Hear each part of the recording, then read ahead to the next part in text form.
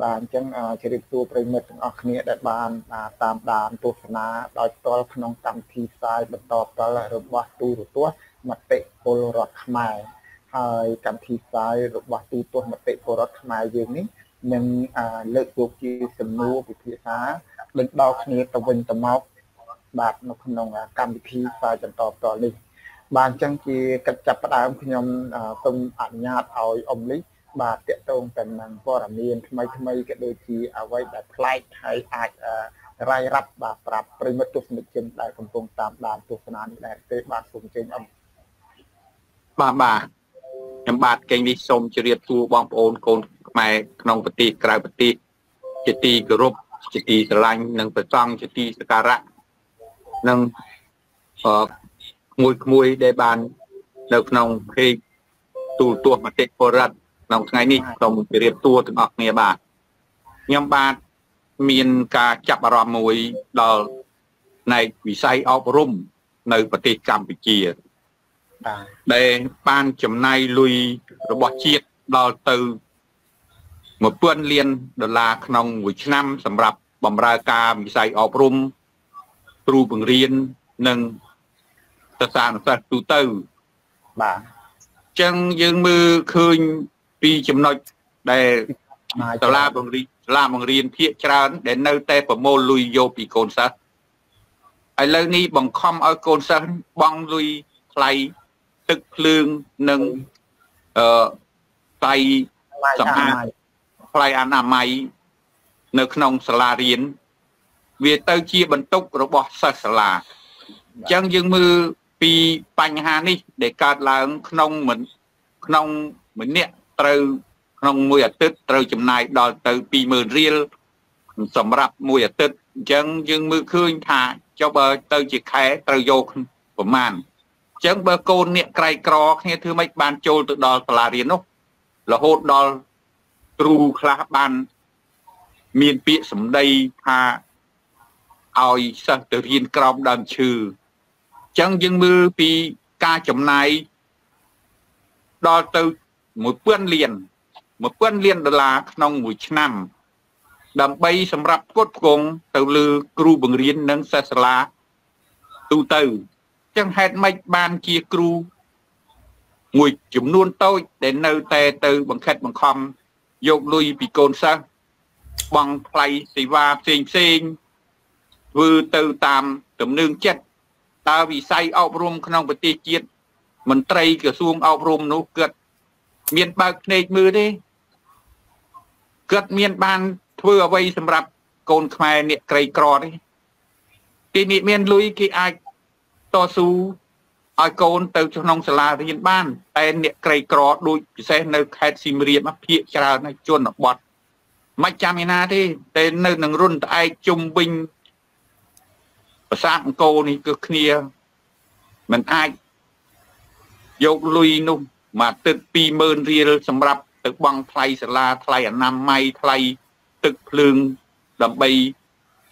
ផ្គត់ផ្គង់ក្នុងសាលារៀននីមួយនីមួយទេអញ្ចឹងហើយខ្ញុំមានចម្ងល់ថាតើរដ្ឋាភិបាលហ៊ុនម៉ាណែតនេះពីនៅឪដូចក្រិនបើដល់មកដល់កូននេះរឹតតែខ្លាំងទៅរឹតបន្តឹងវិស័យអប់រំយើងធៀបប្រៀបនៅប្រទេសថៃសិស្សសាលាគេម្នាក់បានមួយថ្ងៃ20បាត បាយទឹក3ពេលទៀតចឹងការធ្វើដំណើររបស់គេក៏មាន ក្រុមសាលារៀនគេដឹកជញ្ជូនគុតគង់ទៅឲ្យសិស្សសពបែបយ៉ាងចុះហេតុម៉េចបានជាសាលាបង្រៀនខ្មែរនេះ បង្ខំឲ្យសិស្សចូលរៀនតាំងពីម៉ោង7រហូតដល់ម៉ោង12ចូលរៀនគួររៀនគួរហើយរៀនប្រព័ន្ធពិសេស ពេលល្ងាចទៀតក្រៅក្រៅម៉ោងរត់ទៅជាវិស័យឯកជនធ្វើការគៀតសង្កត់ទៅលើសិស្សសាលាដែលជាទំពាំងស្នងរស័យសម្រាប់ប្រទេសជាតិនៅផ្នែកអនាគតឲ្យคล้ายទៅជាជនបនេចរអញ្ចឹងយើងមើលស្ថានភាពដូចនេះអឺមករស់នៅប្រទេសថៃមកធ្វើជាកម្មករកូនចៅគ្មានបានរៀនបានសូត្រហើយក្នុងសាលានោះ គឺយើងអត់មានសាលារៀនណាដែលសម្រាប់ទទួលយកក្មេងៗសម្រាប់ចូលសាលារៀនទេគឺគ្នាអត់បានរៀនហើយបែរជាក្នុងប្រទេសនោះទៅជារឹតបន្តឹងយកលុយយកកាក់អញ្ចឹងបានស្ដីថាផែនការនេះគឺបំផ្លាញធនធានមនុស្សបំផ្លាញមិនឲ្យខ្មែរនេះ មានចំណេះដឹង សម្រាប់ប្រកបរបរអាជីវកម្មផ្សេងផ្សេងពីអនាគតអានដល់ពេញវ័យទៅទៅបំផ្លាញរឿង អំពើពីលីអាបាសែអញ្ចឹងគឺធ្ងន់ធ្ងរណាស់បំផ្លាញពីថ្នាក់បឋមរហូតដល់ទៅអនុវិទ្យាល័យទៅដល់វិទ្យាល័យហើយនៅតែមានការគៀបសង្កត់ពីគ្រូផ្សេងផ្សេងអញ្ចឹងបានខ្ញុំឆ្ងល់ថាប្រព័ន្ធអប់រំមួយនេះច្រើនណាស់គ្រូគ្រូជាង10000នាក់ទេតែចំណាយដល់ទៅ1000លានដុល្លារក្នុងមួយឆ្នាំ សម្រាប់ការពួតគង់នោះវាទៅជា លុយនោះវាទៅឯណាបានជាទៅទៅដាក់បន្ទុកឲ្យឪពុកម្ដាយម៉ែឪនិងកូនសិស្សនេះទទួលយ៉ាងធ្ងន់ធ្ងរបំផុតនេះខ្ញុំរៀនពីដើមឲ្យតែបានបាយកកចេញពីផ្ទះទៅគឺគ្មានបានគ្រូណាមកយកលុយយកការនេះគឺបានចំណេះដឹងទៅវិញរហូតមកទល់ខ្ញុំទៅណែគឺខ្ញុំនៅតែចងចាំថាសាលារៀនដែលបានផ្ដល់ឲ្យខ្ញុំមានចំណេះដឹង មានចំណេះធ្វើ ចិញ្ចឹមជីវិតរហូតមកទល់ឥឡូវនេះតែសាលារៀនរបស់ហ៊ុនម៉ាណែតនេះបំបត្តិចោលតាំងពីបំណិនជីវិតសិស្សសិប្បកម្មសិស្សផ្នែកផ្សំមុខមហូបរបស់សិស្សស្រីសិស្សប្រុសនាទីសម្រាប់កាត់ដេរអីដែលគេតែងថ្នាក់បឋមពីដើមគេបង្រៀនគ្រប់មុខតាំងពីឧត្តសក់តាំងពីធ្វើកញ្ចក់នៅក្នុងសាលារៀនថ្នាក់បឋមទូទៅនោះអញ្ចឹងហេតុម៉េចបានជា លុបបំបត្តិហើយមកថែមកេងប្រវាញ់យកលុយពីសិស្សទៅទៀតនេះងន់ខោណាអានេះវាបើខ្ញុំយល់ទៅគឺអានេះក្បត់ជាតិហើយបើសិនណាជាមិនមែនក្បត់ជាតិគេមិនដែលធ្វើដល់ថ្នាក់នេះទេបាទខ្ញុំសូមចូលរួមប៉ុណ្ណេះបាទសូមប្រកួតជូនវេទិកាក្មួយវិញហ្នឹងហ្នឹងហើយខ្ញុំសូមបន្តពីលោកអ៊ំបន្តិចអឺតាមពិតបើយើងមើលចាប់ពីបឋមសិក្សារហូតដល់វិទ្យាល័យ នៅក្នុងសាលាគេបណ្ដុះបណ្ដាលគឺមានវិស័យច្រើនណាស់ទី1វិស័យកសិកម្មវិស័យឧស្សាហកម្មអញ្ចឹងនៅក្នុងសាលានីមួយៗគ្រូបង្រៀនតែងតែដឹកនាំសិស្សានុសិស្សចាប់ពីមតចាប់ពីបឋមសិក្សារហូតដល់ទៅវិទ្យាល័យតែងតែបណ្ដុះបណ្ដាលនៅវិជ្ជាជីវៈគាត់ឲ្យចេះកាត់ដេរឲ្យចេះប៉ាក់ឲ្យចេះ គូរូបភាពរូបអីអាហ្នឹងក៏វិថាវិស័យវិស័យឧស្សាហកម្មអាហ្នឹងកូនសិស្សកាលពីចំនួនចំនួនអ៊ំប្រហែលជាអាចមានហ្នឹងគ្រូបង្រៀនថាអាចមានចំពោះវិស័យកសិកម្មវិស័យកសិកម្មនៅក្នុងសាលារៀននីមួយៗបើយើងមើលទៅក្នុងនៅក្នុងប្រទេសខ្មែរយើងសាលាមានទីធ្លាធំធំណាស់អញ្ចឹងគ្រូត្រូវបណ្ដុះបណ្ដាលផ្នត់គំនិតឲ្យសិស្សានុសិស្សនឹងគាត់ចេះ បំពាក់បំពន់គាត់ឲ្យចេះដាំឲ្យចេះកែច្នៃនៅនៅដូចថាបណ្ដុះបណ្ដាលនៅកូនឈើកូនស្ពៃកូនអីហ្នឹងហើយជគួនតឡាចតសហ្នឹងអាហ្នឹងជាជាជាកន្លែងកសិកម្មមួយសម្រាប់សិស្សានុសិស្សដែលលោកគ្រូអ្នកគ្រូនេះជាអ្នកបង្រៀនហើយបើសិនជាយើងយើងមើលនៅការសិក្សារបស់ខ្មែរយើងសពថ្ងៃអត់មានទេនៅក្នុងសាលានីមួយៗគឺមានតែកន្លែង អឺកន្លែងផ្ញើកង់យកយកលុយឯណាកន្លែងផ្ញើកង់លោកយកលុយប៉ុន្តែបើរោងជាងរោងជាងសម្រាប់បណ្ដុះបណ្ដាលឲ្យសិស្សសានុសិស្សនេះអត់មានទូរស័ព្ទហើយកាលពីសង្គមបើបើបើខ្ញុំនិយាយមិនខុសទេលោកអ៊ំក៏ឆ្លប់ឆ្លងកាត់ពីសង្គមប្រហែលជាអាចនៅក្នុងសាលាយើងចាប់ពីអនុវិទ្យាល័យទៅដល់វិទ្យាល័យប្រហែលជាមានរោងជាងនៅក្នុងសាលាមានរោងជាងអញ្ចឹងលោកគ្រូលោកគ្រូដែលគាត់ជំនាញខាងជាងហ្នឹងគាត់មកបង្ហាត់បង្រៀនសិស្ស ឲ្យចេះខាងដូចថាឆ្នៃម៉ូដអើកែឆ្នៃធ្វើវត្ថុអ្វីដែលជាតំណាងឲ្យប្រទេសជាតិយើងដូចជាប្រាសាទអង្គរវត្តរូបចម្លាក់បោក្បាច់រចនានៅក្នុងសាលារៀនហ្នឹងប្រហែលជាមានហើយប៉ុន្តែក្រោមការដឹកនាំនៃរបបហ៊ុនសែន40ឆ្នាំជាងឥឡូវមករបបហ៊ុនម៉ាណែតទៀតអត់មានទេគឺលុបបំបត្តិទាំងអស់កុំសុំបីអីតែប្រវត្តិសាស្ត្រខ្មែរនេះក៏គេអត់ឲ្យឲ្យលោកគ្រូអ្នកគ្រូនោះបញ្ចូលនៅក្នុងកម្មសិក្សារបស់សិស្សានុសិស្សយើងដែរអត់ទេគេឲ្យតែកូនខ្មែរចំនួន79មកឥឡូវនេះដឹងតែថ្ងៃ7មករាមួយគាត់ហើយថ្ងៃ7មករានេះបងប្អូនដឹងហើយមិនបាច់ជុំនិយាយនៅក្នុងនឹងឲ្យវែងឆ្ងាយទេគឺជាថ្ងៃយួនឆ្លៀនពៀននៃប្រទេសយើងមិនចឹងអ៊ំហ៎បាទថ្ងៃ7មករាគឺជាថ្ងៃដែលយួនទន្ទ្រានឆ្លៀនពៀនរំលោភយក បូរណភាពទឹកដីនៃប្រទេសខ្មែរតែខ្មែរយើងវាមានសំណាងត្រង់នេះក្រោយថ្ងៃ23តុលា1991គឺជាថ្ងៃដែលយើងទទួលបានសុខសន្តិភាពពេញលេញមួយរយៈក្រោយការបោះឆ្នោត93យើងទទួលបានសុខសន្តិភាពពេញលេញមែនក្រោយមកដោយរបបរាជការហ៊ុនសែននេះកាត់ ទុកមិនសុខចិត្តណាបានរំលាយរាជានិយមជាពិសេសគឺគណៈបកហ៊ុនយមពេជ្របានប្លន់អំណាចនាយករដ្ឋមន្ត្រីទី1ដេញព្រះអង្គម្ចាស់នរោត្តមរណរដ្ឋឲ្យនិរទេសចេញពីប្រទេសសម្រាប់អ្នកដែលចិត្តស្និទ្ធអង្គម្ចាស់រូននរោត្តមរណរដ្ឋដោយយកយួនយកមកជំនួសរហូតដល់សពថ្ងៃនេះអញ្ចឹងបើយើងមើលទៅតាមវិស័យសិក្សារបស់សាលារដ្ឋកូនយើងអ្នកក្រកូនអ្នកមធ្យមបានរៀនត្រឹមសាលារដ្ឋឯប៉ុន្តែចំពោះកូនគេអ្នកមានកូនឯកឧត្តមកូនអីហ្នឹងគេរៀននៅសាលាល្អល្អភាសាភាសាដូចជាណតុនបៀប្រៃហ៎សុទ្ធតែជាសាលាឯកជនទាំងអស់ហើយគេបង់ក្នុងមួយឆ្នាំមួយឆ្នាំរាប់ម៉ឺនដុល្លារណោះ សម្រាប់កូនគេអ្នកមានគេចេះដឹងពិតប្រកបមិនប៉ុន្តែអាការចេះដឹងនៃចង្កោមបពពួកអ្នកមាននេះវាអត់យកចំណេះដឹងយកមកអភិវឌ្ឍប្រទេសជាតិទេដោយសារវាធ្វើតាមតែបញ្ជារបស់ប្រកូលហ៊ុនតែប៉ុណ្ណឹងអញ្ចឹងវិស័យអប់រំនៅស្រុកខ្មែរយើងនេះ ចាប់ពីបឋមសិក្សារហូតដល់វិទ្យាល័យអត់បានការនេះខ្ញុំបានបានលើកយកមកនិយាយនៅក្នុងទូរទស្សន៍នៅប្រទេសកាណាដាម្ដងហើយ កូនក្មេងសិក្សារៀនសូត្រហ្នឹងណាអ្នកខ្លះរៀនដល់អនុវិទ្យាល័យរៀនដល់វិទ្យាល័យឲ្យតែសរសេរជួញជាអ្នកនឹងសរសេរអត់ត្រូវផងជួញជាអ្នក33តួទៅសរសេរអត់ត្រូវផងមិនដឹងជាអសរនេះជើងនេះអសរនោះជើងអីអត់សេអត់ត្រូវតែមកណាខ្ញុំមិនវាយតម្លៃទេណាមិនវាយតម្លៃក្រសួងអប់រំនៃប្រទេសជាតិយើងទេប៉ុន្តែយើងមើលជាក់ស្ដែងចឹងមែនអឺជួញជាអ្នកយើងណា 33តួសោះហ្នឹងកូនខ្មែរយើងសរសេរអត់ត្រូវផងហ្នឹងមិនដឹងថាអាណាដាក់មុនអាណាដាក់ក្រោយផងហ្នឹងចាប់ពីអសកដល់អសអហើយខ្ញុំជឿសាក់លោមើលទៅសាក់សួរមើលណាតែបើកូនគេអ្នកមានគេមានស្តង់ដាររៀននៅសាលាល្អល្អកូនគេចេះមែនណាខ្ញុំសរសើរដូចសាលា BLT សាលាអីហ្នឹងសិតតែសាលាឯកជនហើយបង់ក្នុងតម្លៃថ្លៃណាសាលា Norton ជាពិសេសសាកលវិទ្យាល័យ Northfried ដែលសុទ្ធតែជាកូនអ្នកមានកូនឯកឧត្តមកូនអីយកមករៀននៅហ្នឹង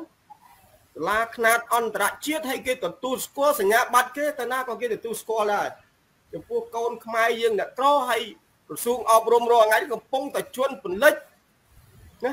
កូនអ្នកក្រមិនឲ្យបានសិក្សារៀនសូត្រទេដោយសារអី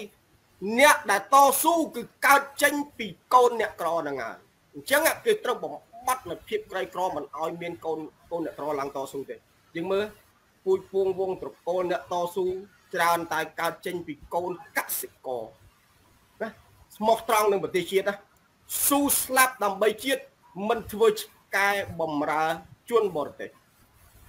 មិនដូចអាឆ្កែមួយដែលវាកំពុងតែបំរើជនបរទេសសពថ្ងៃទេអានេះវាកើតចេញពីត្រកូលចោលលួចត្រកូលកសិករដែរប៉ុន្តែវាធ្វើឆ្កែបំរើបរទេសជនពលិចពូជសាសឯងណា បំបត្តិប្រពៃណីវប្បធម៌សាសនារបស់ខ្លួនយើងណាបង្កើននៅប្រពៃណីវប្បធម៌នៃជនជាតិដទៃ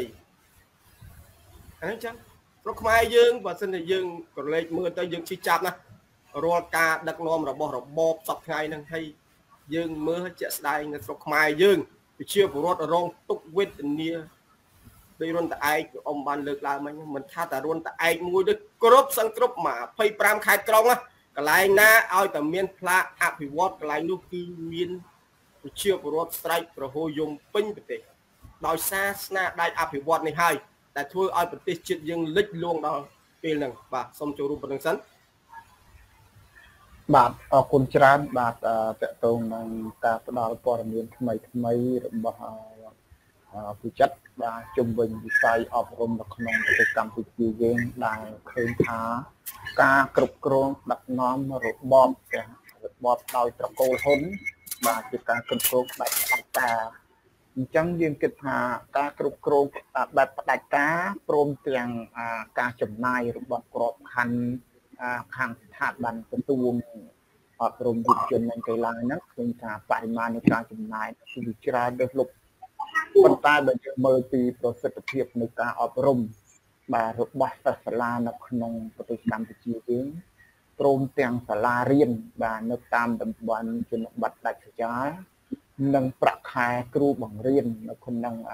ថ្នាក់រៀនហ្នឹងក៏នៅមានកម្រិតនៅឡើយរហូតដល់សិស្សរហូតដល់សាលាខ្លះបាទតម្រូវឲ្យសិស្សបានបង់បាទ បង់ការបង់ការចំណាយទៅលើទឹកភ្លើងនិងការអនាម័យបាទសាលាខ្លះទៀតបាទគ្រូបង្រៀនឆ្លៀតបាទលក់មេរៀនបាទនៅក្នុងសាលាដើម្បីរកចំណូលបាទចិញ្ចឹមជីវិតរបស់ពួកគាត់ប្រចាំថ្ងៃបាទសាលាខ្លះទៀតគ្រូបង្រៀនបាទគឺឆ្លៀតបង្រៀនគួរដើម្បីឲ្យសិស្សហ្នឹងបាទទៅរៀនគួរ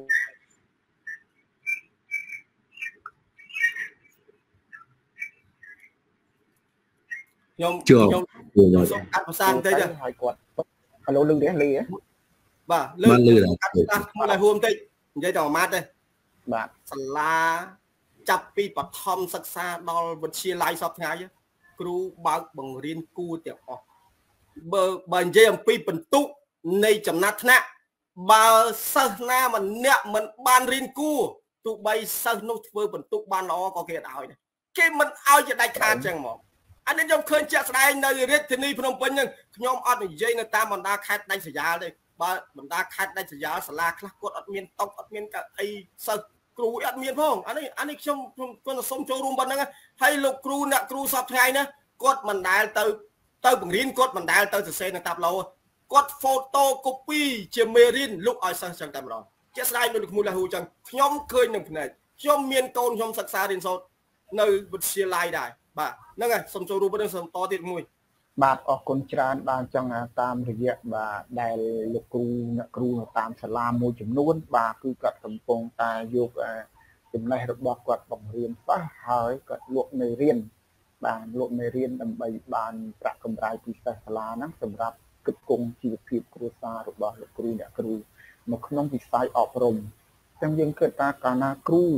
ហូបចុកមិនគ្រប់គ្រាន់បាទមិនបានដឹកដល់តើគ្រូមានកម្លាំងឯណាបញ្ចេញចំណេះវិជ្ជារបស់គាត់បង្ហាត់បង្រៀនសិស្សឲ្យមានគុណភាព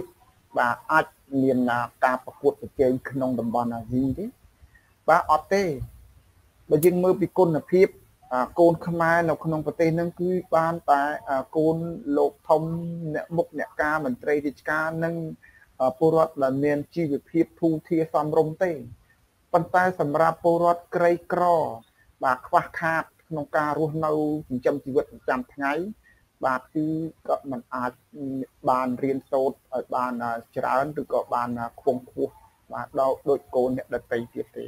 គឺប្រព័ន្ធអប់រំរបស់យើងគឺខ្វះចន្លោះច្រើនណាស់កន្លែងប៉ុណ្ណឹងបាទដោយឡែកកូនអ្នកមានកូនលោកធំបាទមន្ត្រីអុកញ៉ាអ្នកមុខអ្នកការហ្នឹងគឺគាត់បានរៀនខ្ពង់ខ្ពស់ កត្តាជីវភាពនេះហើយដែលជំរុញឲ្យពួកគាត់មិនបានសិក្សាបានរៀនសូត្របានខ្ពង់ខ្ពស់គឺខ្វះការជំរុញពីរដ្ឋអញ្ចឹងហួតថាបើរដ្ឋនេះមិនខ្វល់រឿងសុខទុក្ខប្រជាពលរដ្ឋទៅហើយតើប្រជាពលរដ្ឋនឹងរស់ប្រជាពលរដ្ឋនឹងមានចំណេះវិជ្ជាណាបានបានបានរៀនសូត្រខ្ពង់ខ្ពស់ដូចកូនចៅគេអ្នកមានដូចគេដូចឯងមនុស្សមានជីវិតដូចគ្នា កូនអ្នកមានក៏ជីវិតមួយកូនអ្នកក្រក៏ជីវិតមួយ ប៉ុន្តែចង់និយាយថាចំណេះវិជ្ជាគឺត្រូវតែមានការទទួលបាននៅការការអប់រំប្រហាក់ប្រហែលគ្នាចឹងដូច្នេះហើយបានឃើញថាការអប់រំនៅក្នុងប្រព័ន្ធរដ្ឋាភិបាលរបស់ផ្ដាច់ការយោបរទេសនេះបាទគឺគាត់កំសោយមិនត្រឹមតែប៉ុណ្ណឹងដោយលោកអ៊ំកេងលីគាត់បានប្រាប់បង្ហាញដែរថាប្រព័ន្ធអប់រំនៅក្នុងប្រទេសកម្ពុជាគេបានបិទបំណិតជីវិតរបស់សិស្សតែបំណិតជីវិតនោះគឺស្អី បាទជាជំនាញនៅពេលដែលគាត់ចេញពីសាលាទៅគាត់មានចំណេះហ្នឹងអាចប្រកបមុខរបរចិញ្ចឹមជីវិតប្រចាំថ្ងៃរបស់គាត់គឺបំណិតជីវិតនោះបាទដូចជាខាងជាង ខាងដេប៉ាខាងសិប្បកម្មបាទនឹងជំនាញផ្សេងផ្សេងទៀតនៅក្នុងសាលាដែលគាត់រៀននៅក្នុងកម្រិតមធ្យមសិក្សាក្តីក្នុងកម្រិតវិទ្យាល័យក្តី ចឹងពេលដែលគាត់រៀនបានក្នុងកម្រិតនោះមួយគាត់អាចយកចំណេះវិជ្ជាអស់ទាំងហ្នឹងបាទមកប្រកបមុខរបរចិញ្ចឹមជីវិតរបស់គាត់និងក្រុមគ្រួសាររបស់គាត់បានប៉ុន្តែយើងមើលរបបនេះមានគិតគូរទេបាទចម្លើយគឺអត់ទេទី1ទី2បាទយើងមើលពីប្រវត្តិសាស្ត្រកម្មវិធីសិក្សាពីប្រវត្តិសាស្ត្រប្រទេសកម្ពុជាយើងបាទប្រព័ន្ធអប់រំរបបអាយ៉ងយួននេះបាទគឺគេបិទឈឹងតែម្ដង ឲ្យរៀនពីប្រវត្តិរៀនពីប្រវត្តិសាស្ត្រស្អីឯណានៃវែងឆ្ងាយផ្សេងផ្សេងប៉ុន្តែប្រវត្តិសាស្ត្រប្រទេសជិតខាងដែលគេចិញ្ចឹមចិត្តចង់បាននេះគឺរបបដាច់ការរបស់លោកហ៊ុនម៉ាណែតនឹងមិនបានផ្ដល់ឲ្យគាត់មិនមានកម្មវិធីសិក្សាឲ្យគាត់បានរៀនសូត្របាទចេះចាំដើម្បីបន្តធនធានមនុស្សអ្នកស្នេហាជាតិបាទអ្នកស្រឡាញ់ទឹកដីប្រទេសជាតិវប្បធម៌របស់ខ្លួនទេបែរជាទៅបន្តគេហៅថាបន្តពុទ្ធសាសនាដតីជាជាពិសេសគឺយើងឲ្យគេឲ្យពុទ្ធសាសនាដតីនឹងសិក្សារៀនសូត្រអក្សរសាស្ត្រខ្មែរដើម្បីចិញ្ចឹមពូជសាសន៍ដតីនឹងសម្រាប់មហិច្ឆតាគ្រប់គ្រងអនាគតទៅខ្មែរតទៅថ្ងៃអនាគតបាទគ្រោះថ្នាក់ណាស់ការដឹកនាំបែបប្រព័ន្ធរបស់លោកហ៊ុនម៉ាណែតនេះបាទវាធ្វើឲ្យប្រទេសកម្ពុជានឹងវាខិតទៅរកការពិនិត្យហិនហោចបន្តិចម្ដងបន្តិចម្ដងបន្តិចបងមួយទៀតតកតងនឹងអសរសាស្ត្រជាតិ យើងមើលពីចំនួនមួយទៅចំនួនពីកែខៃឆ្នៃចុះឡើងចុះឡើងបាត់លើបាត់ក្រោមបាត់ឆ្វេងបាត់ស្ដាំពីមុនអសរគេពេញលក្ខណៈស្អាតត្រឹមត្រូវណាដល់មកដល់សម័យនេះបាត់នេះបាត់នោះមើលទៅដូចជាខ្វះទឹកគ្រប់យ៉ាងតួយ៉ាងដូចជាពាក្យច័ន្ទអញ្ចឹងហើយមិនបានមានដំពីលើហើយមានន័យថាម៉េចអាសញ្ញាអាសញ្ញាអឺសញ្ញតិសញ្ញានៅពីលើហ្នឹងមិនបានចាស់វាបុរាណយើងថែមអាហ្នឹង ហើយប្រហោះណាបាត់ជើងតឯណានៅឆ្កុយហើយគេដាក់ឲ្យត្រូវវាមានន័យគេពេញលេញបើអ្នកប្រាជ្ញជំនាន់ហ៊ុនម៉ាណែតនេះទៅណានឹកឃើញឯណានៅនៅឆ្កុយបាត់តួសពខ្មែរអស់នេះបាទអញ្ចឹងវាគ្រោះថ្នាក់បាទវប្បធម៌ក៏រលាយសាបសូន្យអសរសាស្ត្រហ្នឹងក៏ចាប់ផ្ដើមបាត់លើបាត់ក្រោមបាត់ឆ្វេងបាត់តាមតិចម្ដងតិចម្ដងពីមួយចំនួនទៅមួយចំនួនហើយដល់អ្នកប្រាជ្ញបណ្ឌិតនឹងអត់ខំថែរក្សាទេតែបើថែរក្សាថែរក្សាពីពុទ្ធសាសនាទៅបាទខ្ញុំសូមមានវិបល់ប៉ុណ្ណឹង បាទតែតកតងនឹងព័ត៌មានមតិយោបល់ផ្សេងផ្សេងតែបងតនេះមានអ្វីដែលត្រូវនិយាយប្រាប់ជូនប្រិមិត្តទស្សនិកជនយើងដែរទេបាទទេបាទអរគុណបងអូនលីហួរបាទអញ្ចឹងដោយសំណួរតាក់ទងរឿងប្រព័ន្ធអប់រំរឿងសិស្សអីហ្នឹងចិត្តទៅបានបកស្រាយហើយប្រជាពលរដ្ឋខ្មែរយើងក៏បានដឹងដែរអញ្ចឹងខ្ញុំ ចង់និយាយពីរឿងវិបត្តិនយោបាយហើយនិងវិបត្តិផ្ទៃក្នុងនៅក្នុងជួរគណៈបកប្រជាជនហ្នឹងបាទខ្ញុំនិយាយបើវិញចិត្តពូអីក៏បាននិយាយអស់ដែរគួរដែរដល់អញ្ចឹងខ្ញុំដាក់ផ្សេងទៅហ្នឹងទៅបាទអឺហួរចិត្តអីនឹងនិយាយអស់ហើយដល់ខ្ញុំទៅនិយាយអញ្ចឹងទៀតវាជន់តែក៏ដែរក៏ដែរវាទាំងអត់មានរឿងអីផ្សេងអត់មានរឿងអីថ្មីទេអញ្ចឹងចំណែកខ្ញុំគឺមកតតពងអាក្បត់ បាទអាក្បត់ពីឪមក40ឆ្នាំហើយវាមកក្បត់ដល់អាកូនទៀតដែលមកទទួលតែផែនការមនោគមយួនហ្នឹងមកបន្តឲ្យអាកូនហ្នឹងមកសម្រាប់ខ្មែរទៀតចឹងបានខ្ញុំប្រាប់ថាអាក្បត់នេះវាធ្វើអាយ៉ងគេមក40ឆ្នាំហើយវាគ្មានកំណើតទេយើងមើលទៅវាទៅនៅក្នុងការដឹកនាំមក40ឆ្នាំវាធម្មតាដូចជា សិស្សបាទដូចជាសិស្សឬមួយខាងនិស្សិតបាទជាប់អឺថ្នាក់ទី12អីចឹងទៅបាទគេបានសញ្ញាបត្រអីគេមានតែគ្រូទេបាទគេមានអាចារ្យវាងសាលាទេដែលគេមកចែកសញ្ញាបត្រហ្នឹងឃើញទេអាហើយមកយើងមកយកមកមើល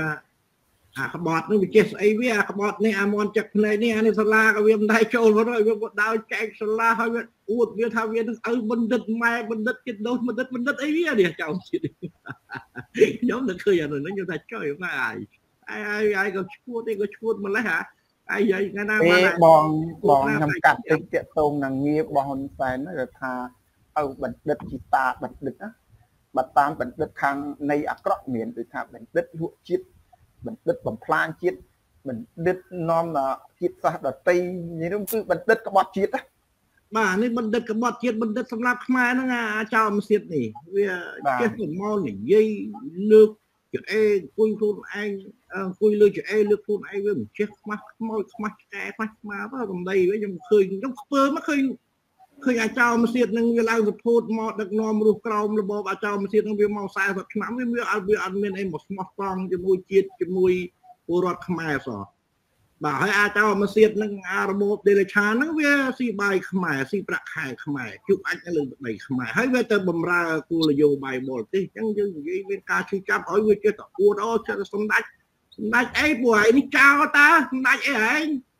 ហើយសម្រាប់ខ្មែរអស់រាប់លានអ្នកឯងមកលើកតកើដែរសម្ដេចគេថាខ្មែរនឹងមិនដឹងខ្យល់អីយើងនឹកឃើញអាចំណុចហ្នឹងមួយយើងដៅឈើមកមិនដែរអានេះក្បត់អាក្បត់នេះក្បត់ពីឪអីមកដល់ចង់ឲ្យអាកូនក្បត់សម្រាប់ខ្មែរទៀតតែបានតែ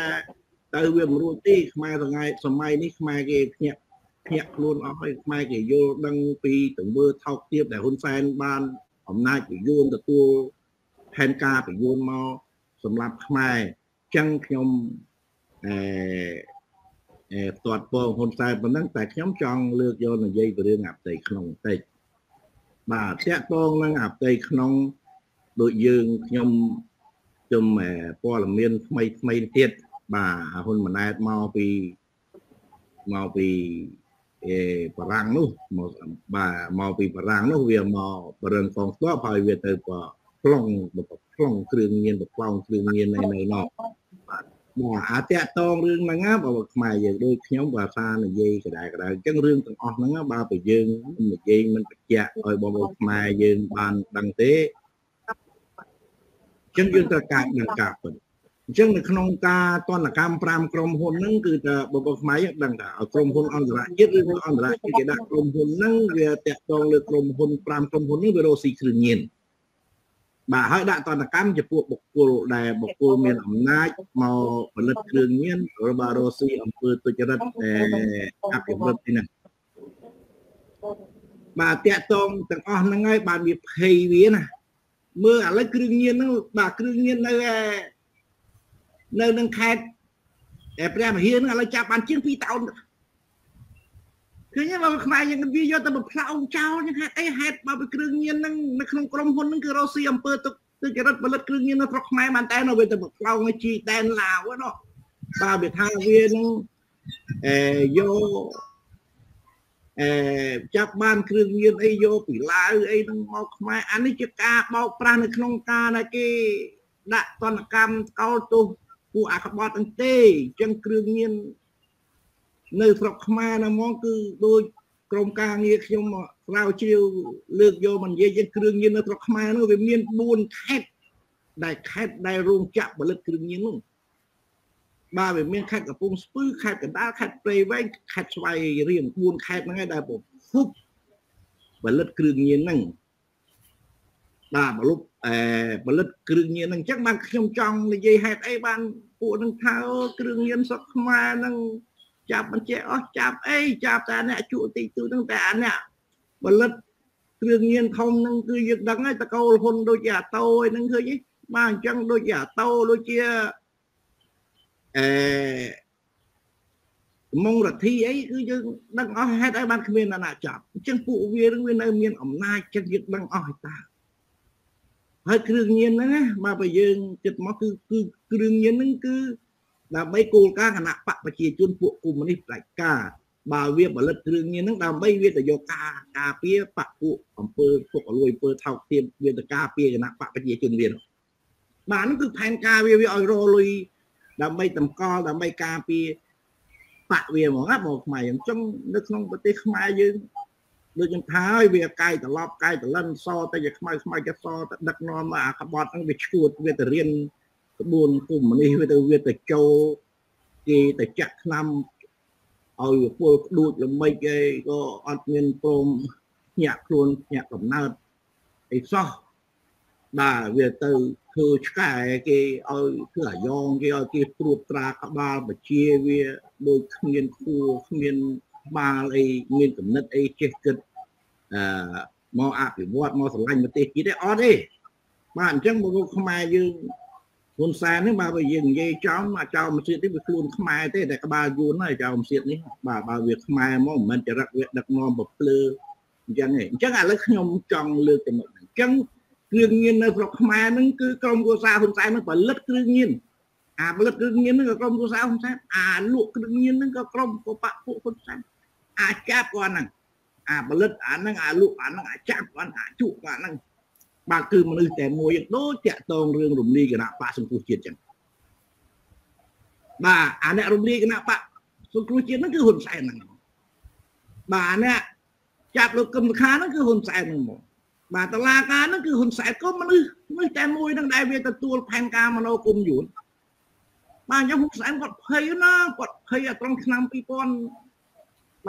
ណា ឃើញហ៊ុនសែនឃ្លីបវីដេអូនោះខ្ញុំយកទុកតាហ៊ុនសែនគាត់និយាយនឹងក្នុងសភាគាត់ថាគាត់ចាញ់លក្ខណោតគណៈបកសង្គ្រោះជាតិតាបាទបើតែឃើញបោះឆ្នោតរួចទៅឃើញអាចោមកទៀតនឹងមកបិទភ្លើងម៉ោង7ម៉ោង8បិទភ្លើងនៅបាទល្ងឹតឈឹងនៅទីក្រុងភ្នំពេញបិទរយៈពេល1ម៉ោង2ម៉ោងដល់ដល់បើកភ្លើងវិញបោះទូទូសារព័ត៌មានវាប្រកាសថាវាឈ្នះខ្លន់អានេះបិទភ្លើងខ្លន់មកពីទៅធ្វើថោកទៀតទៅ ចានេះហើយប្រកាសព័ត៌មានអញ្ចឹងវាឲ្យក្រសួងសារព័ត៌មានអ្នកប្រកាសទៀតមិនមែនតែកោចោបអ្នកប្រកាសទេណាទៅបន្តអាវាត្រឹមត្រូវហើយខ្ញុំថាអញ្ចឹងមិនខ្ញុំថាអ្នកខ្លះថាអើយហ៊ុនសែននឹងហេតុអីបានហ៊ុនសែននឹង យើងមានអាកិច្ចព្រមព្រៀង23ដុល្លារអន្តរជាតិគេធ្វើផ្លូវថ្នល់ឲ្យលលូមគ្រាន់តែគេធ្វើឲ្យស្លាច់គ្រាន់តែយើងដើរអនុវត្តតាមច្បាប់កិច្ចព្រមព្រៀង23ដុល្លារច្បាប់អន្តរជាតិនៅក្នុងរដ្ឋធម្មនុញ្ញច្បាប់កម្ពុជាគឺអន្តរជាតិគេធ្វើឲ្យតែបើយើងគិតជាផ្លូវវិញគឺផ្លូវអន្តរជាតិផ្លូវជាតិវិញផ្លូវលលូមស្អាតនោះគឺអន្តរជាតិគេធ្វើឲ្យស្លាច់គ្រាន់តែយើងដើរតែអាចោមទៀតនេះវាមិនដើរវាដើរទៅក្នុងព្រៃវាគិតតែព្រៃវាស៊ីតែភ្នំស៊ីតែរ៉ែវាបំផ្លាញតែខ្មែរអាអាក្បត់ ពីមួយចំនួនមកទល់មួយចំនួនទៀតនេះអញ្ចឹងបាទខ្ញុំថានៅក្នុងដំណាក់កាលពេលចុងក្រោយនេះហ៊ុនសែនគឺគឺធ្ងន់ណាស់គឺខុសខុសខុសធ្ងន់ណាស់ខុសធ្ងន់ត្រង់ហ៊ុនសែនគាត់ហ៊ានខ្លាំងបាទពីសម័យមុនទៅយើងនិយាយថាប្រជាពលរដ្ឋយើងអត់ទាន់មានអង្គការអន្តរជាតិអីអត់ទាន់មានទូតអីពេញប្រទេសណាកាលសម័យដែលគាត់មកទៅប្លន់ទៅចាប់លោកប៉ែលោកប៉ែនសវណ្ណណា បាទប៉ុន្តែដំណាក់កាលរបស់ឆ្នោតចុងក្រោយឆ្នាំ2023នេះយើងមើលទៅវិហានគាត់ភ្លើងជៀនចោលវិហានរបស់ឆ្នោតហើយវិហានទៅប្រកាស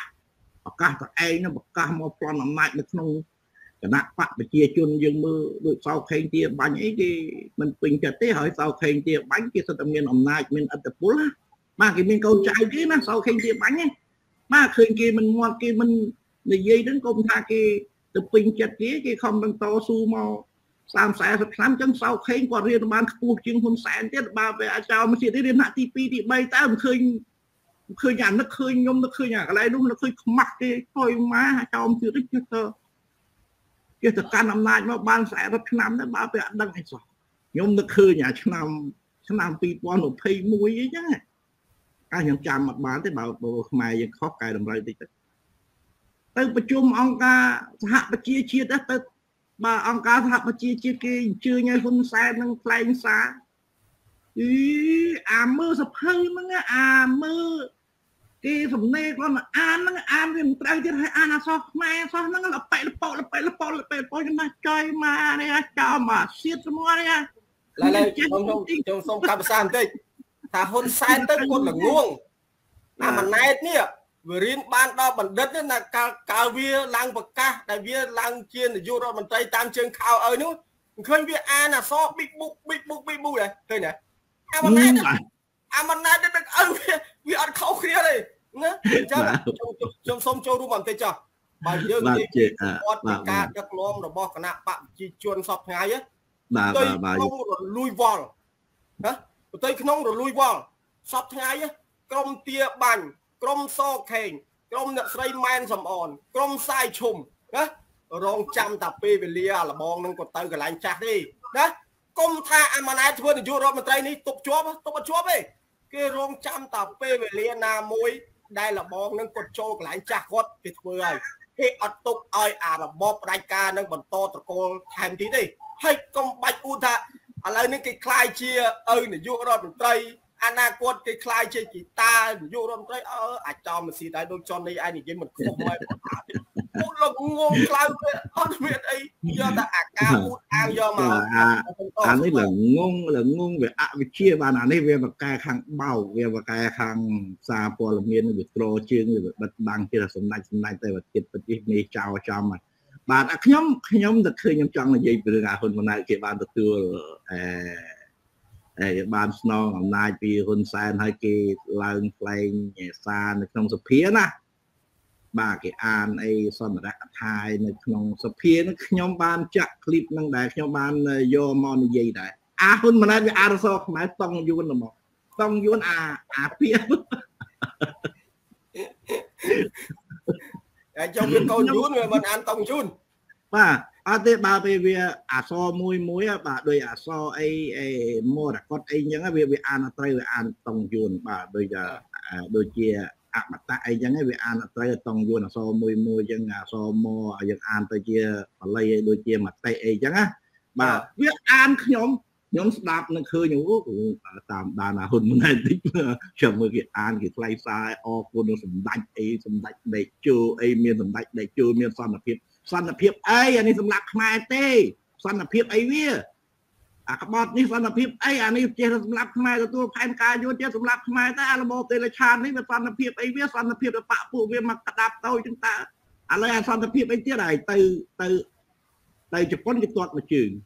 ទៅចិនគេទាត់ពីរជើងទៅអាមេរិកគេដេញឲ្យដេញចោលយប់គេទាំងឲ្យនៅជើទៅដីបាទទៅអឺរ៉ុបនោះធានាទៅប្តីបារាំងគេទាត់3ជើងទៅ ហើយវិលមកផ្ញើដូចកតេះឡងឲ្យសងៃហ្នឹង20វ៉ាន់ផ្លោវាមករើសអង្គរៈនោះដើម្បីតការវាវាតែអង្គរៈស្អីអាតទៅនឹងដំណាក់កាលចុងក្រោយណាអង្គរៈហ្នឹងឲ្យចាប់ពួកហ្នឹងមេដឹកនាំប្រតិការយើងមើលអឺវាសនាមេដឹកនាំប្រតិការនៅប្រទេសលីប៊ីអាកាដាហ្វីហ្នឹងអាកាដាហ្វីប្រជាពលរដ្ឋដើរចៅខ្នល់ប្រជាពលរដ្ឋមានតែចាប់តនណាពួកអង្គរៈអញ្ចឹងខ្ញុំទៅសើខ្ញុំទៅសើនយោបាយការបរទេសអន្តរជាតិហ្នឹងបាទគោលនយោបាយអន្តរជាតិគឺ គឺស្អាតណាបាទបើពេលថាចង់បដូរមានរំដំផ្ដាច់ការណាហើយគឺបាទគាត់ដាក់សពាតក៏គៀបឲ្យមកគោរពលទ្ធិប្រជាធិបតេយ្យបើពេលមិនគោរពទេគេគៀបវាវាសកត់បើឲ្យបែកអាប់ដេក្នុងជួបវិបត្តិសេដ្ឋកិច្ចវិបត្តិសង្គមដូចសប្ថ្ងៃហ្នឹងមានអាណាដូចតែកំពុងតែពៀលស៊ីពៀលលឹងឃើញអាហ៊ុនម៉ាណែតនឹងជំរុះមន្ត្រីរាជការនៅតាមក្រសួងនីមួយៗនឹងឃើញចូល100នាក់ជាងហើយបាទអាចជំរុះនឹងគឺដើម្បីវាពៀលស៊ីពៀលផងដើម្បីវាគៀបយកលុយផងហ្នឹងទី1ទី2 វាតាក់ទងអាមត្រីចាស់ចាស់ហ្នឹងវាអត់ទទួលស្គាល់ពីទង្វើអាហ៊ុនម៉ាណែតដែលវាអសមត្ថភាពវាឡើងតាមទៀនខោឪហ្នឹងបាទដល់អញ្ចឹងវាដើរជន់គេជន់ឯងក្មេងវាមិនទាន់ជួបបលេបលើក្បាលផងវាដើរទួតគេទួតឯងអញ្ចឹងក្រុមអេមន្ត្រីដែលគេតស៊ូមកគេមិនពេញចិត្តអីគេមិនតគ្រប់គ្រងវាបាទដល់អញ្ចឹងវាភ័យវាចាប់ដើមជំរុះចោលជំរុះផងធ្វើស៊ីផងអញ្ចឹងបបោខ្មែរយើងនៅក្នុងគណៈបកប្រជាជនថ្ងៃវាកំពុងតែមានវិបត្តិផ្ទៃក្នុងចិត្តនឹងនឹងនឹងផ្ទុះហើយ អញ្ចឹងមិនយូរទេខ្ញុំថាសង្ឃឹមថា3 4ខែទៀតនឹងវាលែងមានលុយអឺវាកាត់ប្រាក់ខែគ្រូប្រាក់ខែធាននឹងនឹងទុះនៅក្នុងឆ្នាំ2024នឹងរបស់ខ្មែរយើងអញ្ចឹងយើងតស៊ូដូចគ្មានអីថាប់ខែទេដោយលោកប្រធានមានប្រសាសន៍ហើយថាអាហ៊ុនម៉ាណែតនេះវាគ្មានអំណាចមានបំសាយវាទេឲ្យវានៅក្រោយទេហើយហ៊ុនសែនថ្ងៃនេះក៏មានជំងឺពេញខ្លួនទៀតដើរត្រីក្រូតតិចក្រូតនឹងត្រង់តែប្រកាច់ទេបាទអញ្ចឹងគឺអំណាចនៅហ៊ុនសែនហើយបើពេលហ៊ុនសែនប្រកាច់ដេកលឹះក្រែទៅ បាទអញ្ចឹងតកូលហ្នឹងគឺគេចាប់ដើមគេគេបញ្ចប់គេទម្លាក់ឲ្យបាទអាហ្នឹងអរគុណបងប្អូននេះមានប៉ុណ្ណឹងបាទអរគុណច្រើនបងចានីដែលបានលើកពីបញ្ហាសង្គមនយោបាយក៏ដូចជាសម្ពាធអន្តរជាតិដាក់មកលើរបបលោកហ៊ុនម៉ាណែតបាទជាបន្តបន្តហើយរបបរបស់លោកហ៊ុនម៉ាណែតនេះកំពុងតែរស់នៅក្នុងភាពត្រដោខ្យល់ រងចាំតែថ្ងៃអវសាននៃជីវិតនយោបាយរបស់ពួកផ្ដាច់ការទេចឹងយើងគេថាពួកផ្ដាច់ការបាទកាលណាដឹកនាំបែបមិនរំលោភសិទ្ធិមិនគ្រប់សិទ្ធិមនុស្សនិងស្ដារលទ្ធិប្រជាធិបតេយ្យទេ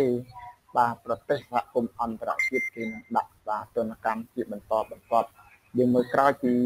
របបក្រោយពីលោកហ៊ុនសែនលាចាកពីតំណែងរបស់គាត់បាទសម្ពាធអន្តរជាតិគេបានដាក់ទុករួចជាស្រេចទៅហើយ បាទដូចជាការបង្កក់ទ្រព្យសម្បត្តិមន្ត្រីចំណិតចំណិតរបស់លោកហ៊ុនសែនរាំងផ្ទុកនឹងឲ្យទៅប្រទេសបាទរបស់ពួកគេ បាទព្រមទាំងកាត់ទោសមន្ត្រីខលគេថាមន្ត្រីដែលប្រព្រឹត្តបទឧក្រិដ្ឋកម្មបាទមនុស្សជាតិមួយចំនួននៅក្នុងប្រទេសកម្ពុជាបាទព្រមទាំងថ្មីថ្មីនេះគឺក្រុមហ៊ុនបានដាក់ទណ្ឌកម្មលើរបបហ៊ុនសែនក៏ឲ្យឃើញថាការដឹកនាំរបស់ហ៊ុនសែនគឺមិនមានភាពល្អប្រសើរអ្វីឡើយនៅក្នុងការ រៀបចំដឹកនាំប្រទេសដែលធ្វើឲ្យអន្តរជាតិនឹងគេគោរពនិងទទួលស្គាល់ការដឹកនាំរបស់គាត់តែផ្ទុយទៅវិញការដឹកនាំរបស់ពួកគាត់នឹងវាគ្រាន់តែជាគេហៅថាតំណាងឲ្យប្រទេសកម្ពុជាទេប៉ុន្តែមិនមែនជារដ្ឋាភិបាលស្របច្បាប់នៅក្នុងប្រទេសនៅក្នុងព្រះរាជាណាចក្រកម្ពុជានោះទេបាទអញ្ចឹងជាថាក្រោមការដឹកនាំរបស់គាត់ក្នុងរយៈកាលមួយរយៈកាលកន្លងមកនេះគឺ3 4ខែនេះ យើងមើលពីកំណើនសេដ្ឋកិច្ចបាទបញ្ហាសេដ្ឋកិច្ចនៅខ្ញុំសូមសូមបន្ថែមពី3ម៉ាត់ហើយក៏អឺបាទសូមជើងចង់ចង់ហ៊ុនសែនសប្តាហ៍នេះគាត់កំពុងតែដើរដល់ផ្លូវគាត់ច្រកបាទបាទអញ្ចឹងគាត់លើកយកតែគុំសខាហ្នឹងមកដើរតួទៀតអញ្ចឹងនៅក្នុងការដែលលោកគុំសខាហ្នឹងគឺហ៊ុនសែនក៏អ្នករំលាយក៏អ្នកចាប់ហ៊ុនសែនក៏អ្នកកាត់ទោសអញ្ចឹងគឺតឡាការហ្នឹងគឺនៅហ៊ុនសែនហ្នឹងមក បាទបាទអ្នកចាប់ក៏នៅហ្នឹងតឡាការក៏នៅហ្នឹងអាអ្នកកាត់ទោសក៏នៅហ្នឹងឥឡូវហ្នឹងវាចាប់ដើមយកលោកគុំសខាមកមកកាត់ទោសទៀតណាបាទអញ្ចឹងខ្ញុំតិចខ្ញុំសូកសូកត្នេះបន្តិចទាក់ទងនឹងខ្ញុំរបស់កឹមសុខានេះដើម្បីកុំឲ្យវាគេហៅថាស្ងាត់អានេះជារឿងនយោបាយបាទជារឿងជារឿងនយោបាយក្រោយពីហ៊ុនម៉ាណែតបាទក្រោយពីហ៊ុនម៉ាណែតត្រឡប់ពីប្រាំងមកវិញណា យើងមើលពីស្ថានភាពនយោបាយនៅក្នុងប្រទេសកម្ពុជាក៏ដូចជាគេហៅថាព្រឹត្តិការណ៍ធំធំនៅក្នុងប្រទេសកម្ពុជាបាទហាក់កំពុងតែស្ងប់ស្ងាត់បាទហាក់គង់ស្ងប់ស្ងាត់អញ្ចឹងបងសូមជើញតចុះបាទបាទតកតងហេតុអីបានដំណាក់កាលចុងក្រោយនេះលោកគុណខាហ៊ុនសែនក៏ត្រូវយកលោកគុណខាមកសម្ដែងទៀតអញ្ចឹងនៅក្នុងការកាត់ទោស លោកកឹមសុខាហ្នឹងបើពីតាំងពីរំលាយគណៈបកសង្គ្រោះជាតិមកវាជិត100ដងហើយដូច70 68ឬមួយ70ឯងខ្ញុំក៏ភ្លេចដែរបាទកាត់មួយខែមាន2ដង3ដងអញ្ចឹងកាត់ហើយដល់តែកាត់កាត់អត់ចេញកាត់ស្អីបើពីមនុស្សអត់មានទោសផងហ្នឹងហើយអ្នកឯងជាតដើរចោលគេពេញនវាលពេញកាលជាតលៀបពណ៌គេបាទតែ រយៈកាលចុងក្រោយនេះឃើញរកអត់ឃើញទេបាទអញ្ចឹងដំណាក់កាលពេលនេះដែលហ៊ុនសែនគាត់មកយកលោកកឹមខាមកដើរតួអញ្ចឹងរឿងនយោបាយនៅដំណាក់កាលនៅពេលនេះហ่าបើខ្មែរយើងហ៊ុនសែនមាននយោលោកកឹមខាទេដើម្បីមកងាកងាកឡើងអឺសៅបដាការងាកងាកនឹងឡើងងាកងាកនឹងឡើងណាណាបាទអានេះនយោបាយចុងក្រោយគាត់ដើម្បីគាត់តែបើពេលហ៊ុនសែននៅដំណាក់កាលពេលនេះបើពេលគាត់ទុកយូរក៏ផ្ទុះទេក្នុងដែរផ្ទុះត្រង់ ប្រទេសខ្មែរយើងសប្ថ្ងៃហ្នឹងឃើញគេខំប្រឹងប្រមូលសាបៀឲ្យហ៊ុនសែនអីមកប្រមូលសាបៀទេអញ្ចឹងក្រុមហ៊ុននៅស្រុកខ្មែរយើងទាំងអស់ហ្នឹងគឺស្លាប់អស់ហើយបាទគឺក្រុមហ៊ុនហ្នឹងគឺអចលនៈធ្លាប់ហ្នឹងគឺដួលអស់ហើយអញ្ចឹងខំប្រឹងប្រមូលត្រាបៀហ្នឹងដើម្បីយកលុយទៅបើកប្រាក់ខែខ្លះខ្លះដើម្បីពជាលកាន់អំណាចបន្តអំណាចអបតទៀតហ្នឹងអញ្ចឹងនៅក្នុងពេលនេះគឺហ៊ុនសែនយកគំថាមកមកលេងដើម្បីទៅចង់តំណាក់តំណង ទៅទៅចង់ចរចាជាមួយអន្តរជាតិបាទបាទពេលហ៊ុនសែនក៏ដើរដល់ផ្លូវតរច្រកអញ្ចឹងអ្នកទោសប្រមាណហ្នឹងគឺហ៊ុនសែនក៏ទុកធ្វើចំណាត់ខ្មាំងដើម្បីជីវិតចុងក្រោយគាត់ដែលគាត់ចរចាជាមួយអាមេរិកជាមួយអន្តរជាតិហ្នឹងទៅបាទអញ្ចឹងហ៊ុនសែនក៏យកអ្នកទោសលោកថៃស្ថានអស់ហ្នឹងដើម្បីទៅសុំស្នើសុំដោះដូរជីវិតចុងក្រោយគាត់ហ្នឹងបងប្អូនខ្មែរយើងបាទអញ្ចឹងមានតែប៉ុណ្្នឹងទេហើយលោកពូចិត្តអីមានអីបន្ថែមទេ ខ្ញុំខ្ញុំសូមចូលរួមបន្តិចអឺខ្ញុំសូមសូមឆ្លើយតបទៅនឹង account របស់ប្អូនប្រុសដាដាដែលគាត់បានខមមិនមកថាឥឡូវគេកាត់លុយបានក្រីក្រគ្រប់ខេត្តត្រឹមត្រូវបងប្រុសមិនថាឡើយរុនតាឯកមិនថាឡើយនៅបណ្ដាខេត្ត25ខេត្តក្រុងណាកាលមុនបោះឆ្នោតណាត្រកូលកបត់ជាតិ ហ៊ុនសែនម៉ាណែតនេះដើរធ្វើបានក្រីក្រជូនប្រជាពលរដ្ឋបើកប្រាក់ឧបត្ថម្ភជូនប្រជាពលរដ្ឋទៅតាមសមាជិកនៃក្រុមគ្រួសារនីមួយៗសមាជិក5នាក់បាន50ម៉ឺន10នាក់ទៅបាន1លាន2នាក់ទៅបាន20ម៉ឺនអីចឹងទៅតែឥឡូវនេះនៅពេលនេះដំណាក់កាលវាកសៃធួនវិបត្តិសេដ្ឋកិច្ចណាវាអត់មានចំណូលចូលទី1ទី2វាដើរខ្ចីគេឡើងបាន អញ្ចឹងមានលុយណាបើកឲ្យប្រជាពលរដ្ឋដែលអ្នកកាន់បានក្រីក្រនឹងបន្តទៀត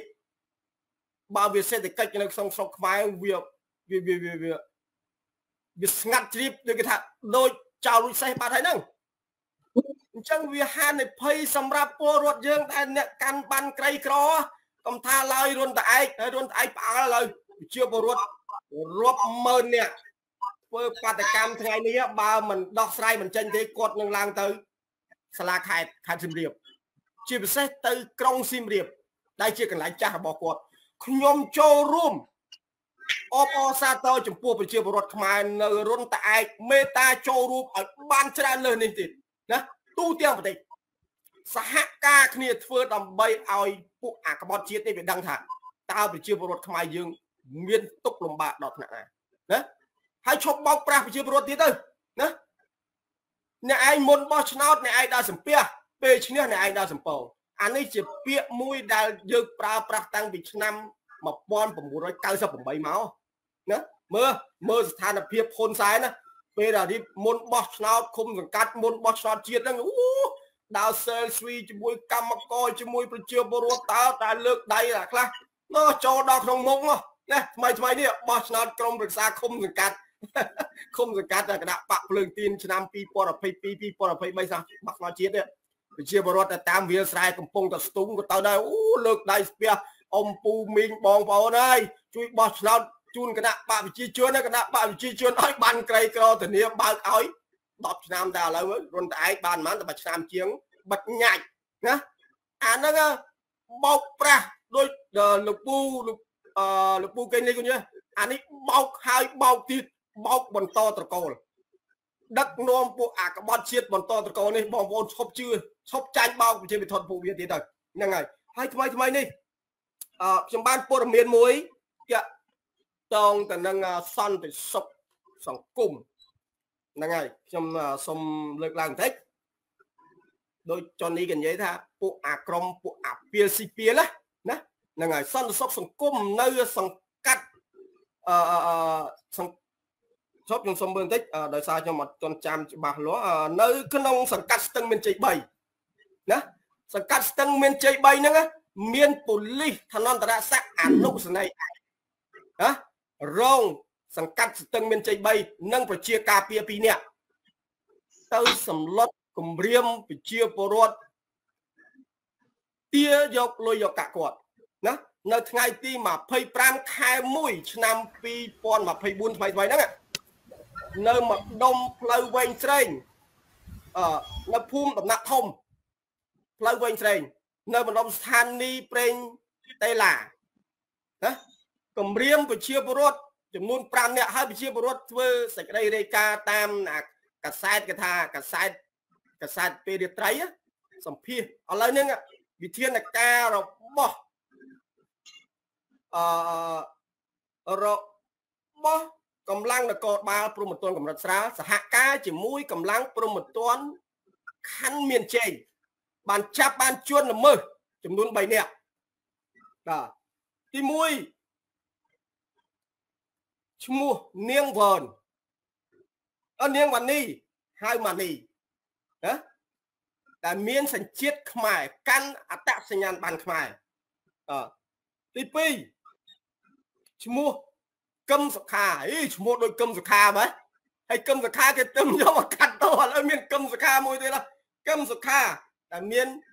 សញ្ជាតិខ្មែរកាន់អត្តសញ្ញាណប័ណ្ណខ្មែរទី3ឈ្មោះលោកវរៈស្នៃឯកព្រំវ៉ាន់រឿនណាព្រំវ៉ាន់រឿនជាមន្ត្រីប៉ុស្តិ៍នគរបាលសង្កាត់ស្ទឹងមានជ័យ3ណាឥឡូវនៅកំសំបីអីតាប៉ូលីសក៏ជាចោលដែរបងប្អូន មិនថាអាអាចោលជាទូទៅចោលចោលហើយថាយើងជាមន្ត្រីប៉ូលីសនេះហេតុអីបានយើងទៅធ្វើចោលដែរទៅប្លន់ប្រជាពលរដ្ឋទៅចាប់ចម្រិតប្រជាពលរដ្ឋដែលគាត់ដើរកំសាន្តពេលរាត្រីនេះគួរឲ្យសោកស្ដាយរបបដឹកនាំនៃលោកហ៊ុនម៉ាណែតដែលទៅតឡើងបាន4ខែជាងហ្នឹងណាបានធ្វើឲ្យមន្ត្រីคล้ายជាចៅ បានធ្វើឲ្យប្រជាពលរដ្ឋញៀនឆ្នាំណាបានធ្វើឲ្យកូនចៅប្រជាពលរដ្ឋតាមមូលដ្ឋានចែកចាយឆ្នាំចែកចាយគ្រឿងញៀនតាមផ្លូវសាធារណៈពីសពេញនៃកន្លែងគាត់រស់នៅ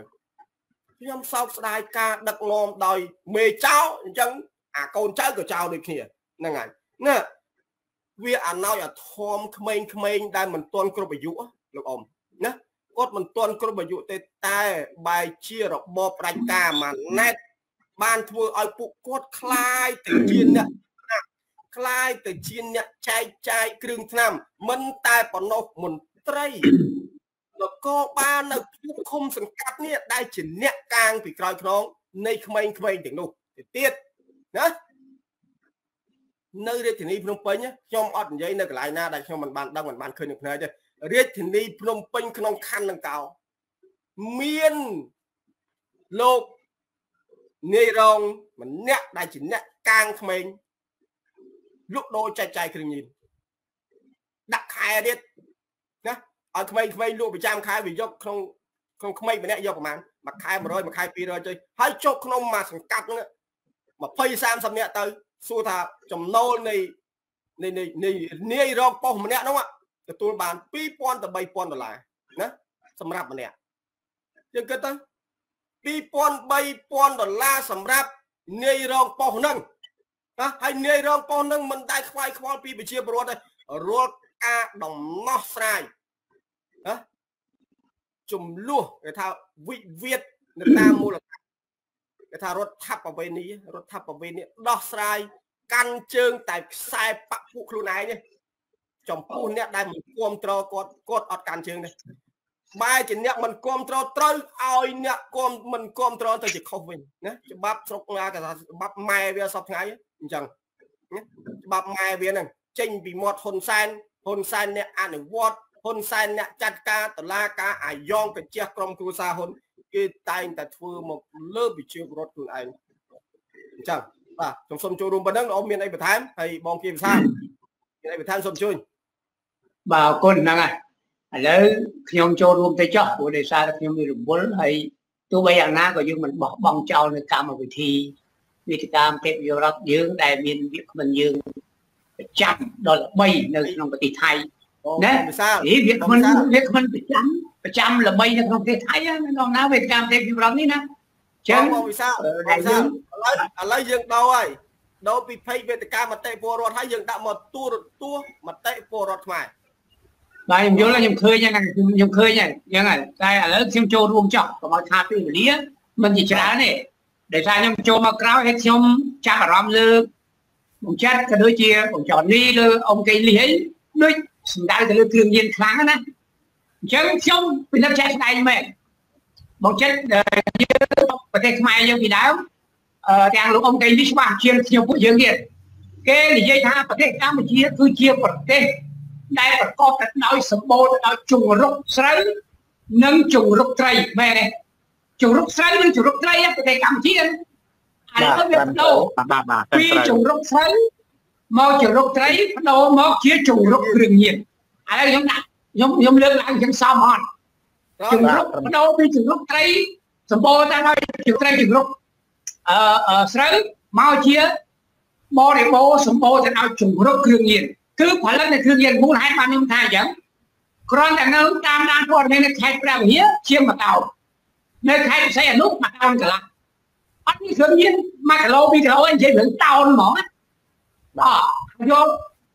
ឥឡូវនៅស្ទឹងត្រែងនោះ500គីឡូក្រាមកន្លះតោនហើយមានអាម្សៅពណ៌ស្វាយនោះ100កញ្ចប់ទៀតហ្នឹងតាមព័ត៌មានយកបានពីអតីតរៃឥឡូវយើងមើលមើលខ្ញុំទៅពិចារណាថាប្រទេសកម្ពុជាគឺជាជំរកគ្រឿងញៀនណា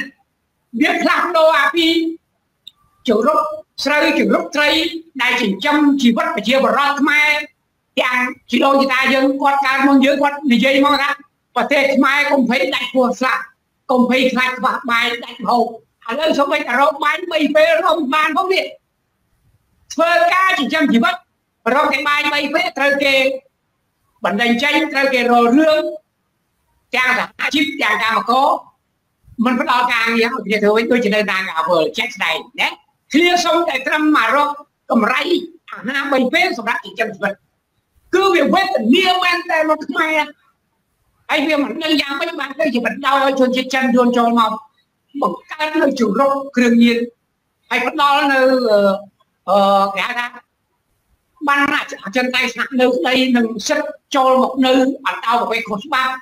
ពេញផ្ទៃប្រទេសកម្ពុជា ប្រព្រឹត្តអំពើម៉ាហ្យាណាចាប់ចម្រិតជួញដូរគ្រឿងញៀនអីសពគ្រប់ប្រការបង្កើតនៅគ្រឿងអឺគេហៅថាចលាចលវឹកវើដល់ធនធានដល់សង្គមធំវាអត់ទៅចាត់វាបែរមកចាប់ពួកយើងអ្នកតស៊ូមតិក្នុងនិន្នាការណាទៅជាអ្នកបង្កចលាចលភាពវឹកវើដល់គុំអីណាចោតតួឯងនេះគ្រូព្រៀនម្ដងរាល់ថ្ងៃនេះបងឯងនេះខ្ញុំពុំឈឺចាប់ អារម្មណ៍ឡើងថាធ្វើមិនខ្ញុំត្រូវការផ្លាស់ប្ដូរអារបបចៅរាធិបតេយ្យនៃតកូលហ៊ុនសែនឲ្យបានតបានបើសិនជាខ្ញុំកំចាត់ពួកវាមិនបានខ្ញុំប្រហែលជាស្លាប់ទៅខ្ញុំបិទប្រទេសជាតិឯងមែនអានេះខ្ញុំនិយាយត្រង់សម្រាប់ជីវិតខ្ញុំចឹងការដែលយើងតស៊ូនយោបាយក្នុងនិន្នាការនៃគណៈបកប្រជាប្រឆាំងដើម្បីឈ្មោះទៅកាន់គោលដៅយើងគឺប្រជាធិបតេយ្យនិងការគោរពសិទ្ធិមនុស្សព្រមទាំងនឹងស្វែងរកយុត្តិធម៌ផ្ដល់ដល់ជួបប្រជាប្រដ្ឋយើង តាមគោលនយោបាយដែលមានការដឹកនាំដោយលោកប្រធានសំរងស៊ីដែលជាបិតាស្ថាបនិកនៃប្រជាធិបតេយ្យយើងនេះគឺខ្ញុំអត់បោះបង់ចោលលោកប្រធានអាយុ73 4ឆ្នាំច្រើនជាងយើងខ្លាំងណាស់គាត់នៅតែតស៊ូនយោបាយដើម្បីជាតិមេត្តាភូមិយើងចុះរឿងអីដែលយើងមិនព្រមដើរទៅតាមជំហានគោលនយោបាយរបស់លោកប្រធាន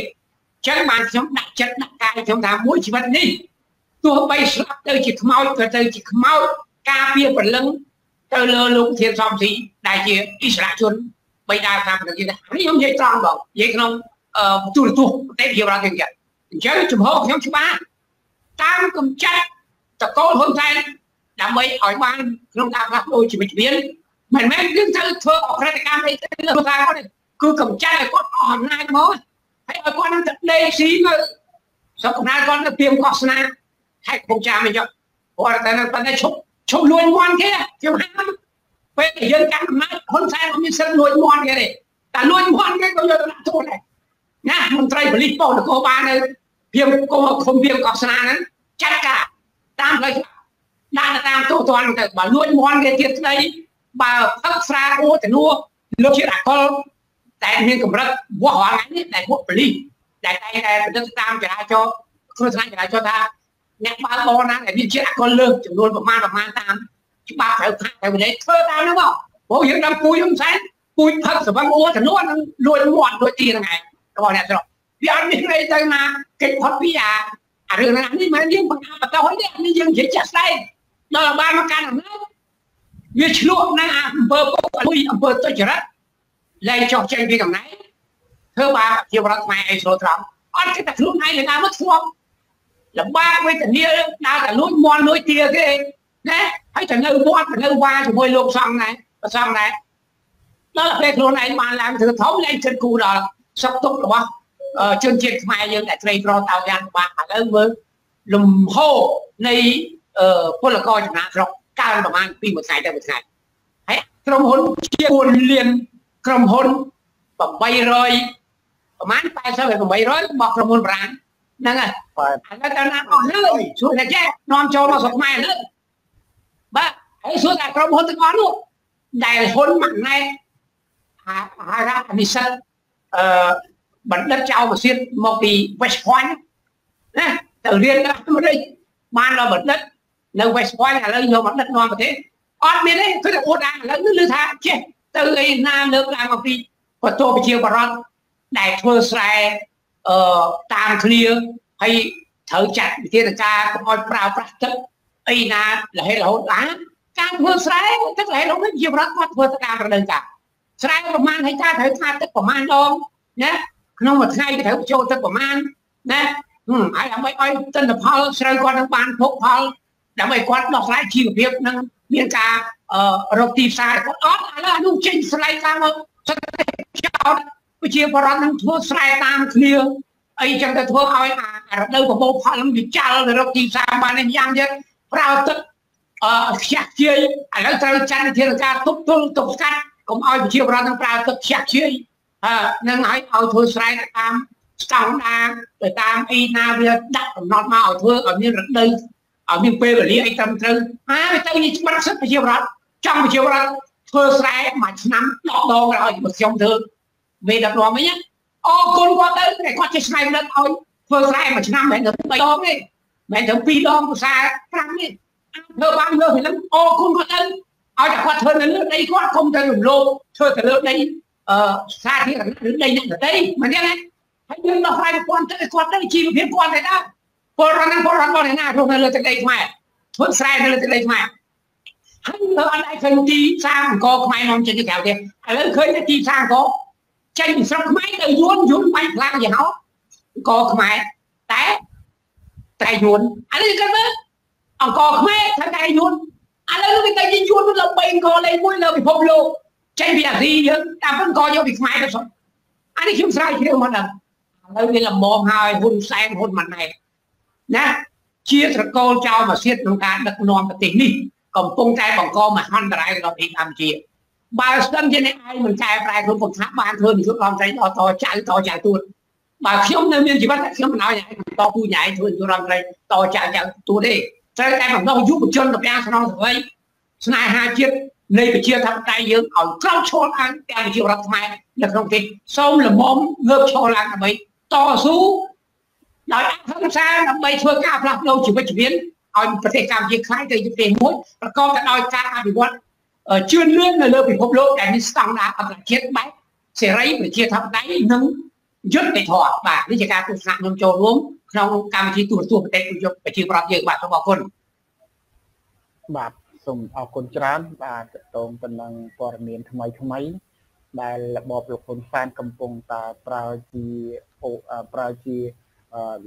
វិធីមួយដើម្បីធ្វើឲ្យប្រទេសជាតិនឹងធ្លាក់នៅក្នុងភាពច្របូកច្របល់